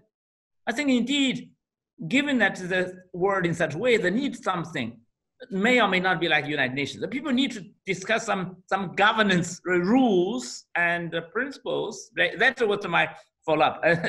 Thank you. Thank you. Well, let me let me briefly say I, I want to echo that when you look at the work of the United Nations in international norms of conduct, it's been a lot of talking, a lot of talking. And look at what China recently proposed, the Global Initiative on Data Security, where some of the eight or 10 principles that China proposed overlap with some of the principles of the UN experts group. We've got to get the groups together. We have to get countries and companies to sign mutual trust agreements. Some of the things China said they felt folks had to be committed to in that global initiative on data security are very, very important. But we need mutual trust agreements signed by governments and signed, by companies. So there are major financial consequences if they violate them, but you need stronger attribution so you know who to legitimately point the finger at. I have a question for Andy. Is it really possible to identify the hackers? Is it technically feasible? Well, let, us put it this way. There, there are a couple things that are necessary. Uh, and uh, Ambassador Timur Koster, the cyber ambassador from the Netherlands, uh, has been leading an initiative. He just left the uh, government post. He was part of the Global Commission. There are folks working to improve the capability to do attribution. That's very important. But there are also technologies that are fundamentally important. I'll just cite the two fundamental concerns of the US government relative to, to Huawei. One is backdoors, and the other is the, the improper accessing of data and sending it back to China. There are technological capabilities that can be implemented where you can guarantee that the products don't have backdoors. You can guarantee that data is not improperly accessed and sent back to anybody. And Cisco's not sending data back to the United States or whatever. So if you can prove those things, bad things are not happening, then you can prove that the China government is not forcing us to do bad things. So if you combine attribution with those kinds of data protections, those kinds of security measures, those auditable measures, then you have an objective and transparent basis for knowing which products and services are worthy of trust, which is fundamental.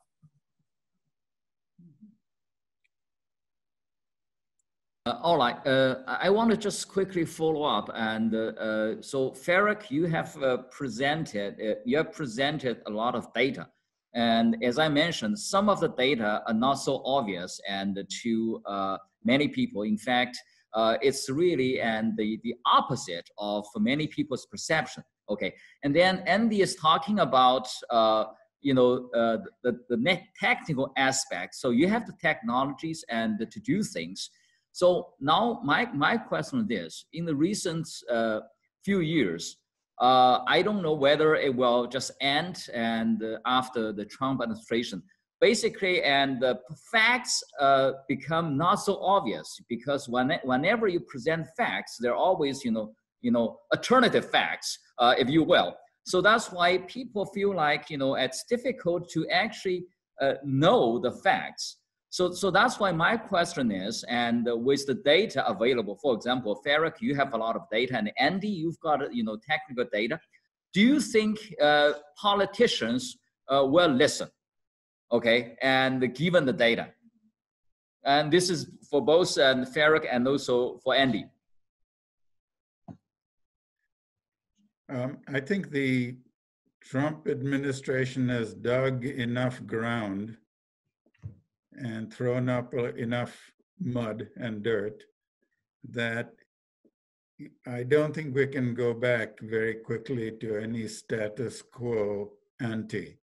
So even the Biden administration is going to continue to negotiate based on what Trump has done, but then be much more honorable, much more straightforward, much more direct than the previous administration.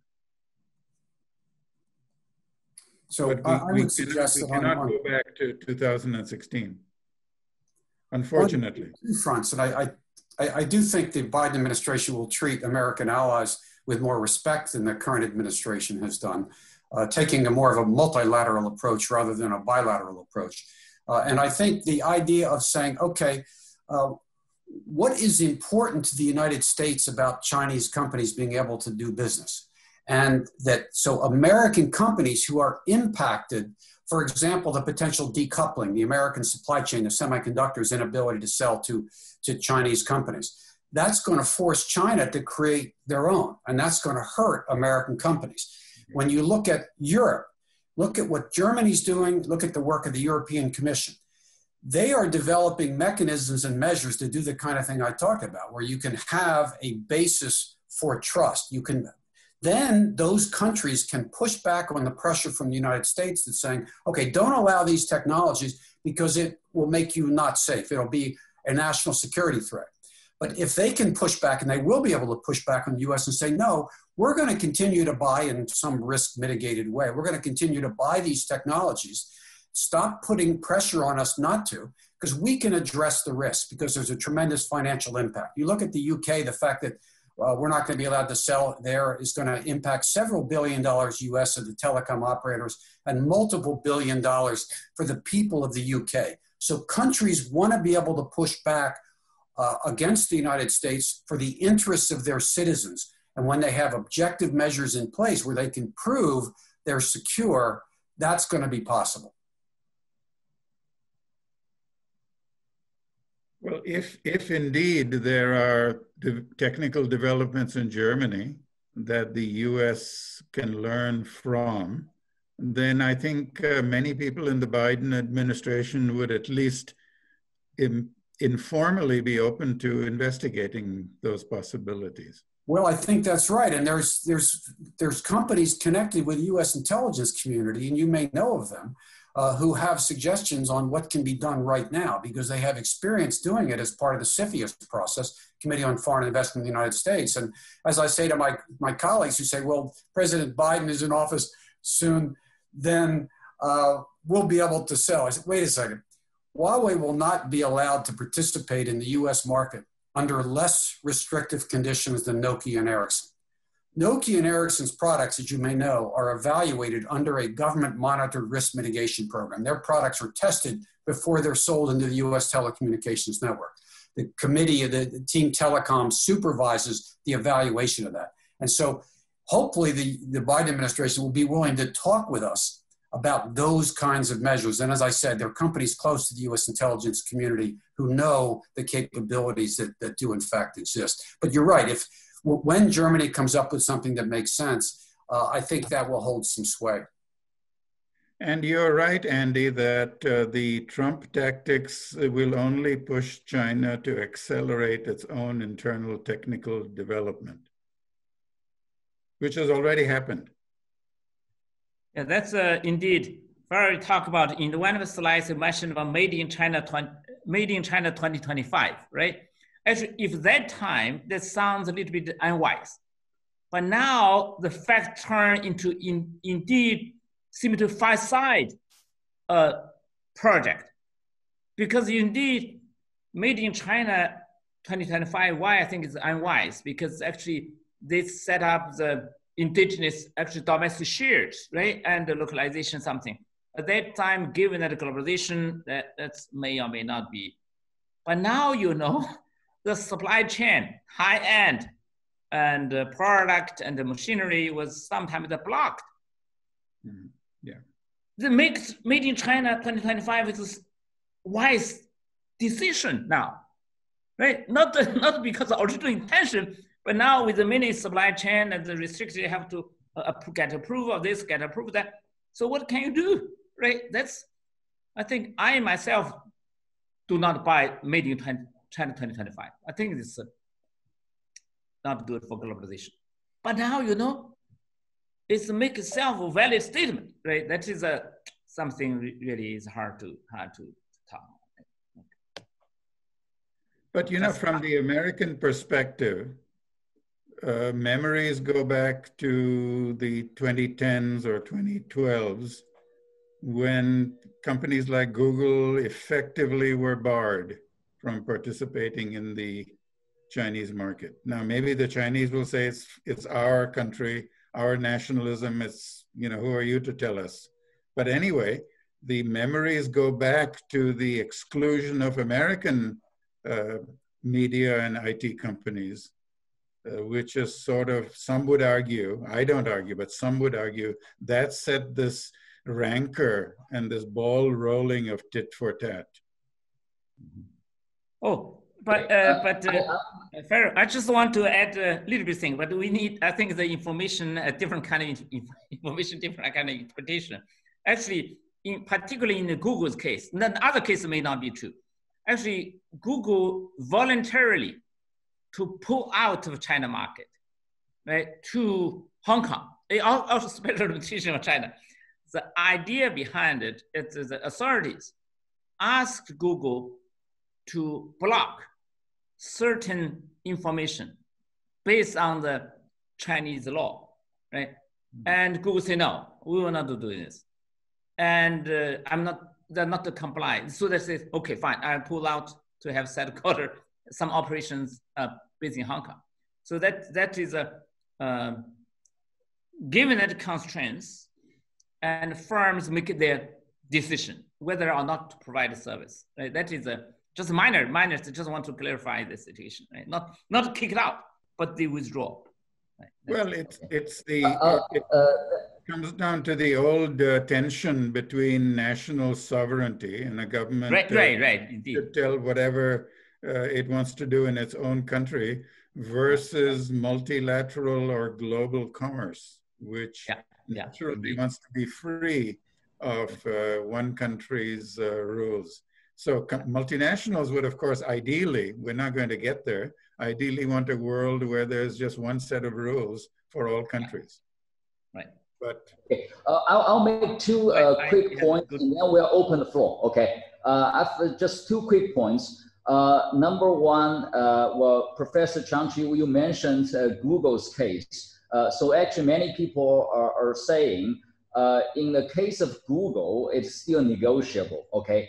But in the case of Huawei, it's non-negotiable, okay? Uh, so I guess that's the sort of difference. And second point is, uh, Farok, you're talking about differences between the Chinese government and US government. You're saying based on the ethical legal reasons, the US government agencies uh, uh, do not share uh, information with private companies. Uh, I, actually, I would say uh, in, in China, probably people have this perception that Chinese governments are willing to share a lot of information with companies. I am not sure that's true. Okay, uh, of course, I don't have the authority to say otherwise, but I don't think that's really true. Okay, uh, Chinese governments also share information with companies uh, very selectively.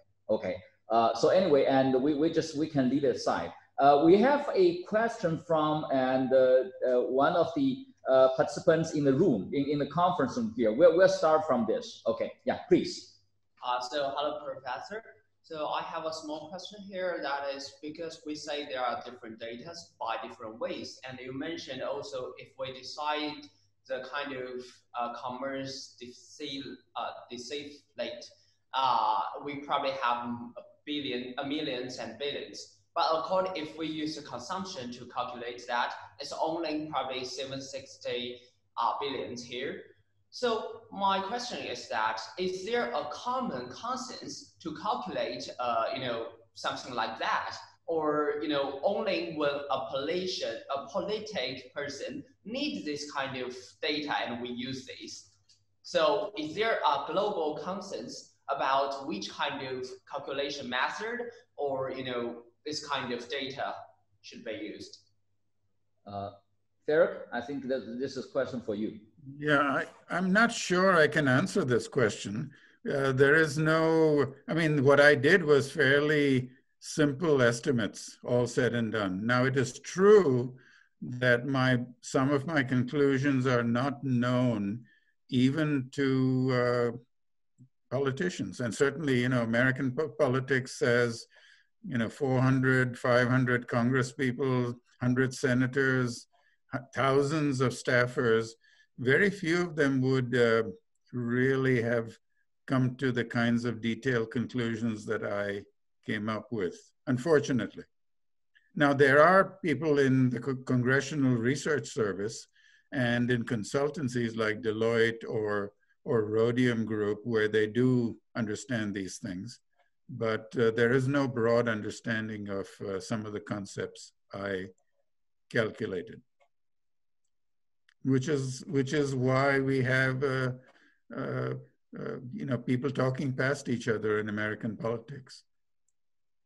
I mean, this pay, forthcoming paper in Management and Organization Review, I actually cite uh, a paper written by a politician who is making all kinds of uh, statements saying that American manufacturing and much of the American public believes that American manufacturing is in decline and in trouble, etc., when actually the opposite is true. Uh, okay. Yeah, yes. Please. So simultaneously, this is for Andy. Because what is the meaning of this kind of data for for for like the Huawei, this kind of company involving in this kind of global commerce? What meaning of do you use this kind of data to analyze you know, or you know, to protect yourself from the some policy from American? And can somebody repeat that question? Oh, okay. Uh, so I guess uh, the question is whether you, you were talking about data, okay? And are, are you actually using the data and uh, for, for the for the calculation, just like what Farok's doing, you know, and by using you know uh, using a method of uh, of doing the data calculation. Are you doing this, Andy? For example, when it relates to Huawei, are you using the data, objective data, and to make your case?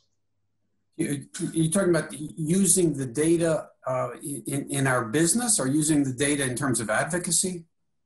Uh, you're, you're, uh, in, the, in the case of Huawei, are you actually using object data to make your case? To protect yourself from. What, what did he say?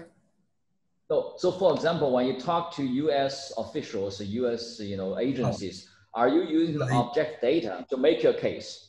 No, the U.S. government has not been, been willing to, to uh, talk with us for quite some time. That's been the frustrating thing, and that, that's the geopolitical situation. But for that situation, they would talk with us. Whether we would have a positive outcome or not is, is a different story, but, but they would talk with us.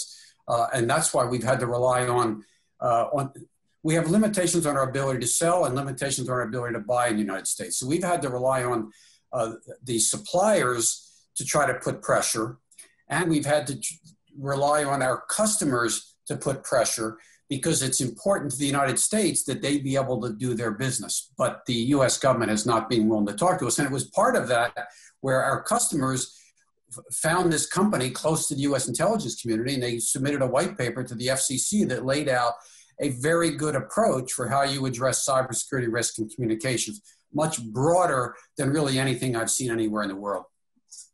Well, my understanding of the question, probably you just mentioned Nokia or Ericsson, their product must go through certain procedures in order to marketing market that product in U.S. Uh, market, right?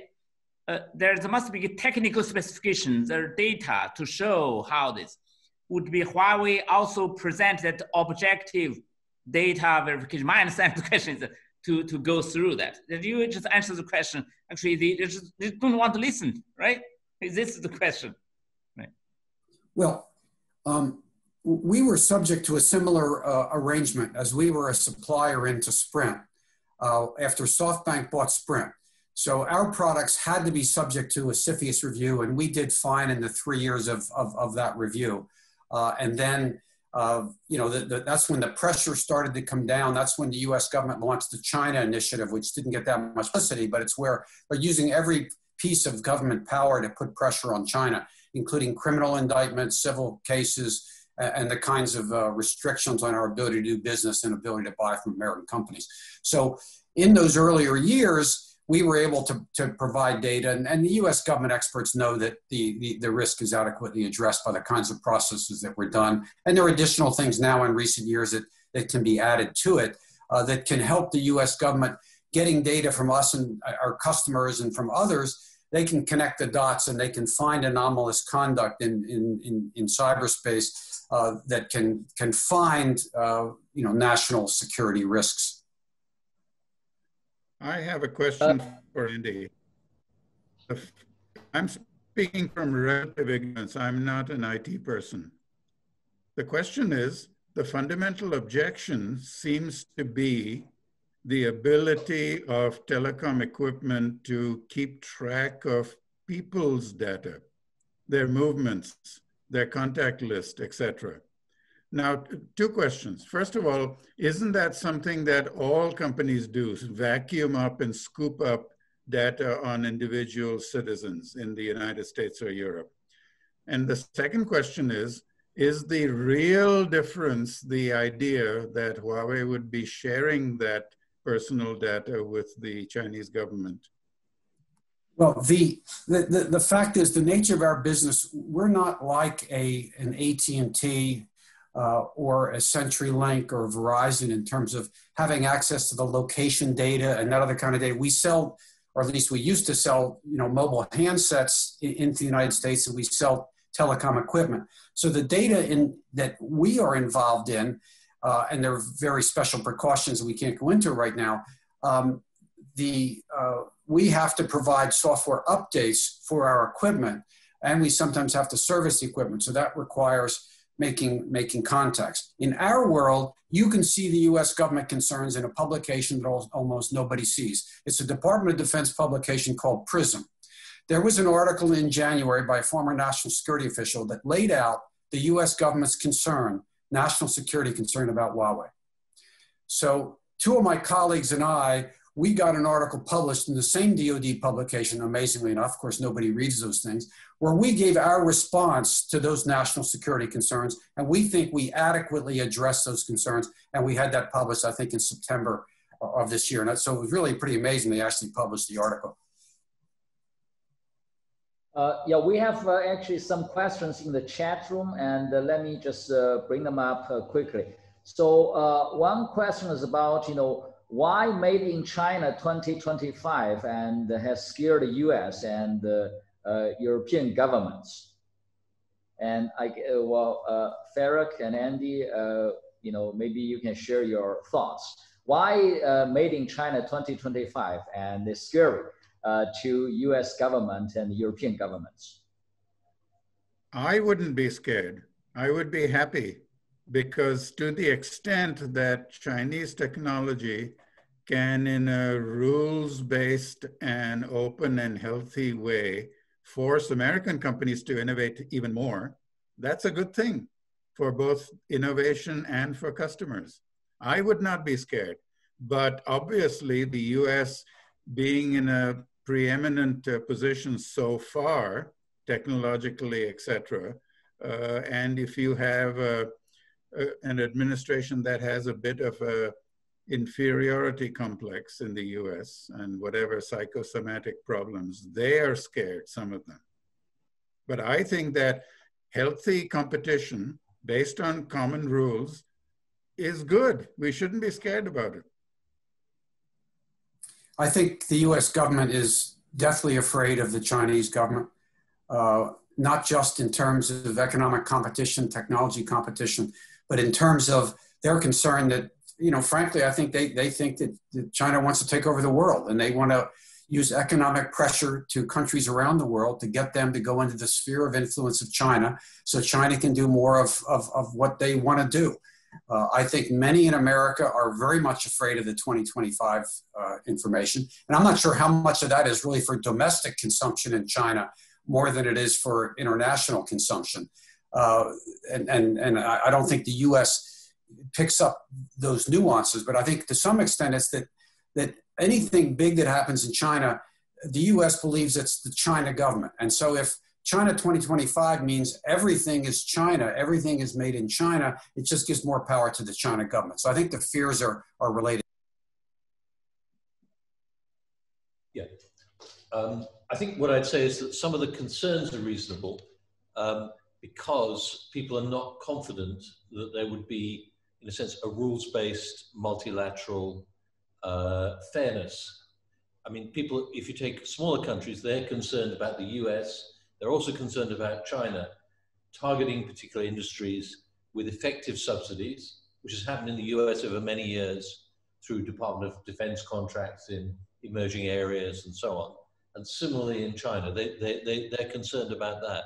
So therefore, uh, and also US and China, that there's uh, that, that people are not following a, a, set of rules and therefore people will cherry pick particular industries to give them an advantage where there's a first mover, get the first mover advantage, and then get longer term. So there's concern about that.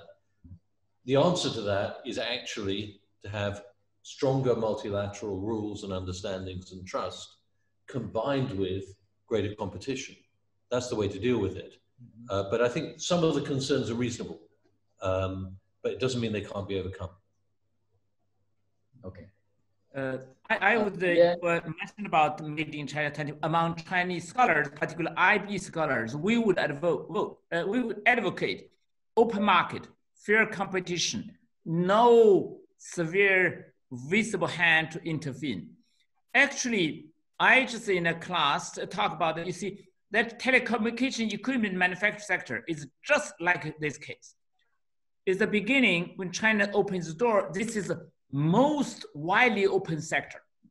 With Nokia, with Ericsson, with Motorola, with Nortel, with uh, Siemens, with uh, uh, Japanese, some other companies. Mm-hmm. But in the end, but the very open market generate company like Huawei, like ZTE, that come up with open market. But on the other hand, some automobiles that about and China, Chinese government set barriers, you have government. Actually, essentially, the companies, uh, at least domestic industrial companies, do not fly. So we advocate open market, open competition. Of course, the politicians and policymakers desire to do something, trying to protect. Actually, in the end, it does not work. So I just often use telecom equipment manufacturing and automobiles the China's automobile industry is still dominated by foreign brand. But Huawei out of most widely open sector, right? Telecommunication manufacturing sector, right? That is a, So that, of course, policymakers, they want to do something in the end that may or may not, right? IB scholars, we should advocate, right, for open, transparent, and uh, that kind of policy. Okay, thanks. Just one little bit of comment, right, about rules based. Okay. Uh, or there's actually, uh, yeah, there's an, actually an interesting question in the chat room which and ties into uh, what Professor Shang has just said, and also the comments Andy previously made. So basically, the question is, and uh, uh, whether and it's possible uh, to establish common rules uh, given that uh, the national interests may not be uh, the same or not be well aligned, and whether it's possible to have common rules and then how to make common rules. I guess, you know, this is basically the question. Yeah, uh, can I have maybe, or uh, Andy, you know, you, you may want to go first.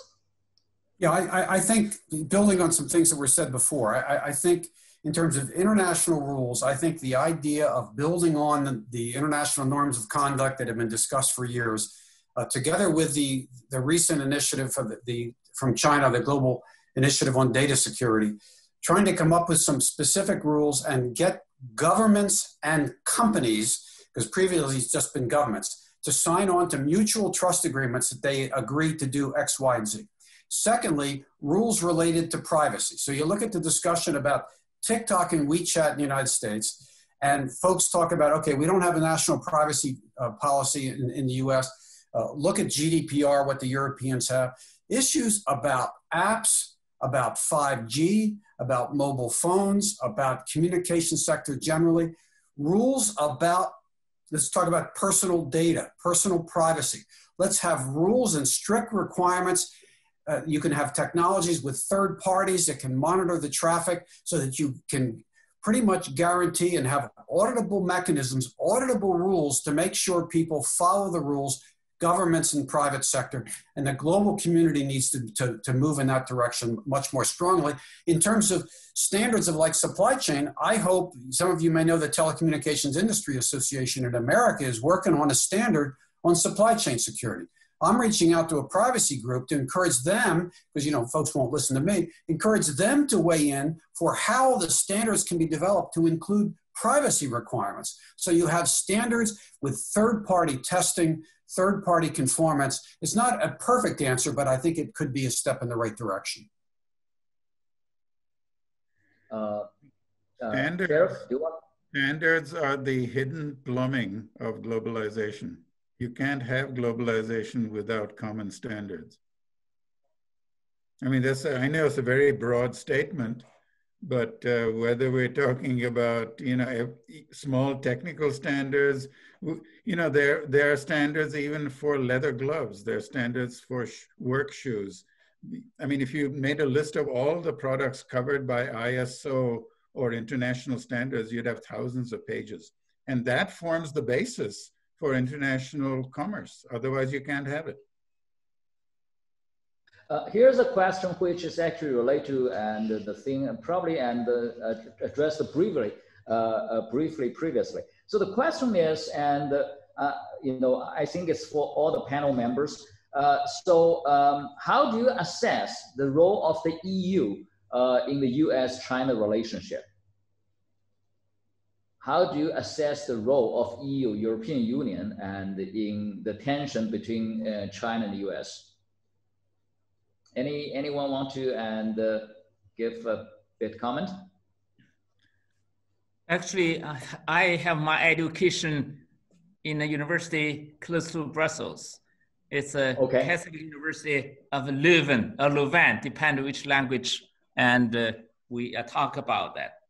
I think that uh, of course, I think European Union is also uh, advanced countries. I think recently in, in economically, economic actually, China many standard, a technical standard, and follows a legal standard, legal system. Actually, follow the continental uh, legal system, right? Instead of the common law system that's prevailing in in the U.S. I think that's uh, uh, from uh, technological point of view, from international business point of view, actually there's, that's why when I teach in IB classes, because for instance, Germany and other places, at, even in the UK, France, for instance, state-owned enterprises. And that was nothing new to Europeans. In 60s, 70s, state-owned enterprises reforms, but in China, so that's why the system gap between European Union and China is closer. Then it's called institutional uh, distance. Uh, because US is at a, uh, a very, I mean, more free market, state rules, its business much more influence than the, so in that way, I think it's for business levels and the, the distance between European uh, companies. That's why at the beginning, at early times, the Volkswagen came to China earlier and dominated the market because this is the thing. But in the future, uh, we do not know. You know, of course, uh, using my own case, why I end up in Brussels? Because 40 years ago, US and China engage a fight, different reasons. So US China, the academic exchanges stopped. So that's one reason I end up in, in Brussels. Uh, of course, I enjoyed it very much, but I think this European uh, play a critical roles in this regard, right? European Union in general, right? That, uh, uh, of course, I hopefully that uh, all the three major blocks would go together. I mean, that, that would be ideal. Right? That's my that's my general comments. Okay, yeah. Well, there, uh, there, there are actually some, some comments rather than questions uh, in the chat room, and I guess all the participants can take a look. Uh, so I think, you know, we are uh, already, uh, you know, over by quite a few minutes. Uh, I guess maybe, you know, I, I, would say maybe any additional final comments from the panel members, and please do so. Yeah, Martin. I'll make one comment which is there's a lot of focus on China and the US. There are many other countries. Uh, and when we're looking at this, we shouldn't over focus on that. We just talked about EU, for example. Um, at the moment, there is a growing perception in many, but not all countries, that the US and China are actually rather similar in some ways, in that they're both large economies, both want to be preeminent in some ways. That's the perception of many smaller countries. I think that both countries need to look at that uh, rather than just look at uh, the, the, the sort of bilateral relations. Okay. All right. Thank you. Uh, Farok? to make a final comment. Actually, it's not a comment. I want to leave a question for not only the panel, but also for the audience. It used to be that China was at one time a developing country.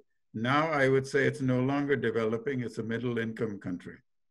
So using the Volkswagen example raised by Professor Wu, there was a time when uh, maybe people said because China is a developing country, it's uh, legitimate to have very high tariffs preventing the import of automobiles. But then uh, there was another rule when Volkswagen or General Motors came to China to do tariff jumping FDI, they were forced to accept a local partner. Uh, so my point, my question I want to leave people with is the following. As China becomes richer and richer from a middle income to a rich advanced country, will it be fair for China to continue to have these protectionist uh, rules, internal rules, preventing multinational companies from coming in and owning freely 100% operations on their own instead of being subject to punitive tariffs and forcing joint venture partners. What would be appropriate for China as an advanced society? I just want to throw that up. yeah. Let me let me uh, make my closing comment. I'll, I'll, I'll comment on that. I, I, think it's quite likely that the Biden administration will have much less of a, a use of tariffs the way that the Trump administration did. Uh, I certainly hope uh, that as part of multilateral negotiations that uh, China will have uh, fair rules on uh, access and, uh, and, and free trade. Regarding the European Union, and I, I want to echo some of the comments that were made, and there was a letter written, it was either today or yesterday, of course, on a different day than those of you in Beijing, but uh, Charles Michel, the president of the European Council, wrote a letter to the leaders of the 27 member states of the European Union about trying to have a new multilateral initiative. Uh, clearly, uh, European Union sees themselves not as secondary to the United States or China, but as an important market and important people in, the, in and of themselves. And they expect to be treated uh, with respect, both as a customer uh, and as a supplier. And uh, they are working hard, the European Commission, on standards, for example, in the communications area uh, that, that hopefully can be, be a model for the rest of the world, just as the European Privacy Directive, GDPR, has had an influence. I'm, I'm told that the China government has a privacy law that has a lot of characteristics similar to uh, the GDPR that's, that, that's in the works. Uh, you know, something like that would be very helpful. And of course, the United States needs something like that as well. In fact, it's called it's called the Brussels effect. When the Brussels adopts a certain standard, it is often imitated and adopted by other countries and becomes a global or near global standard, as GDPR has become. Okay. Uh, Professor Chang Wu. Okay, the short answer, actually, Chi- just like let's wish we'll continue China further open. Actually, by the way, the information when I studied joint venture, in 20 years before China joined WTO, uh, there's 80% of foreign direct investment in China subsidiary and former joint ventures. But today, uh, there 80% are wholly owned subsidiaries. So very rare are joint ventures. That is, I think, even further. But the most of the joint venture are service sector, finance, other things. But this year and last year, all those sectors are further open. But manufacturing sector, almost no requirement for joint ventures. But for services, the banking and the securities, security, I mean, uh, financial services, before they used to have a uh, insurance, but now it's uh, all open for foreign wholly owned subsidiaries. But still, the long way good. One indicator is so that doing business in China index and developed by World Bank. And China has now, last year there were 37 uh, in the rank. But of course, not, not, uh, not like Singapore, not like uh, uh Hong Kong, but still mainland China is uh, improving. So that hopefully that will improve for the better. Okay. Okay. Uh, all right, I guess, uh, uh, well, uh, sorry, and I know I probably missed one or two questions, answers, questions or, or, comments in the chat room, but we're running out of time. Yeah, well, thank you very much, and uh, uh, Professor Contractor and all the panel members, and thank you very much, and uh, for all of you to attend this public lecture. Thank you very much. Yeah, thank you.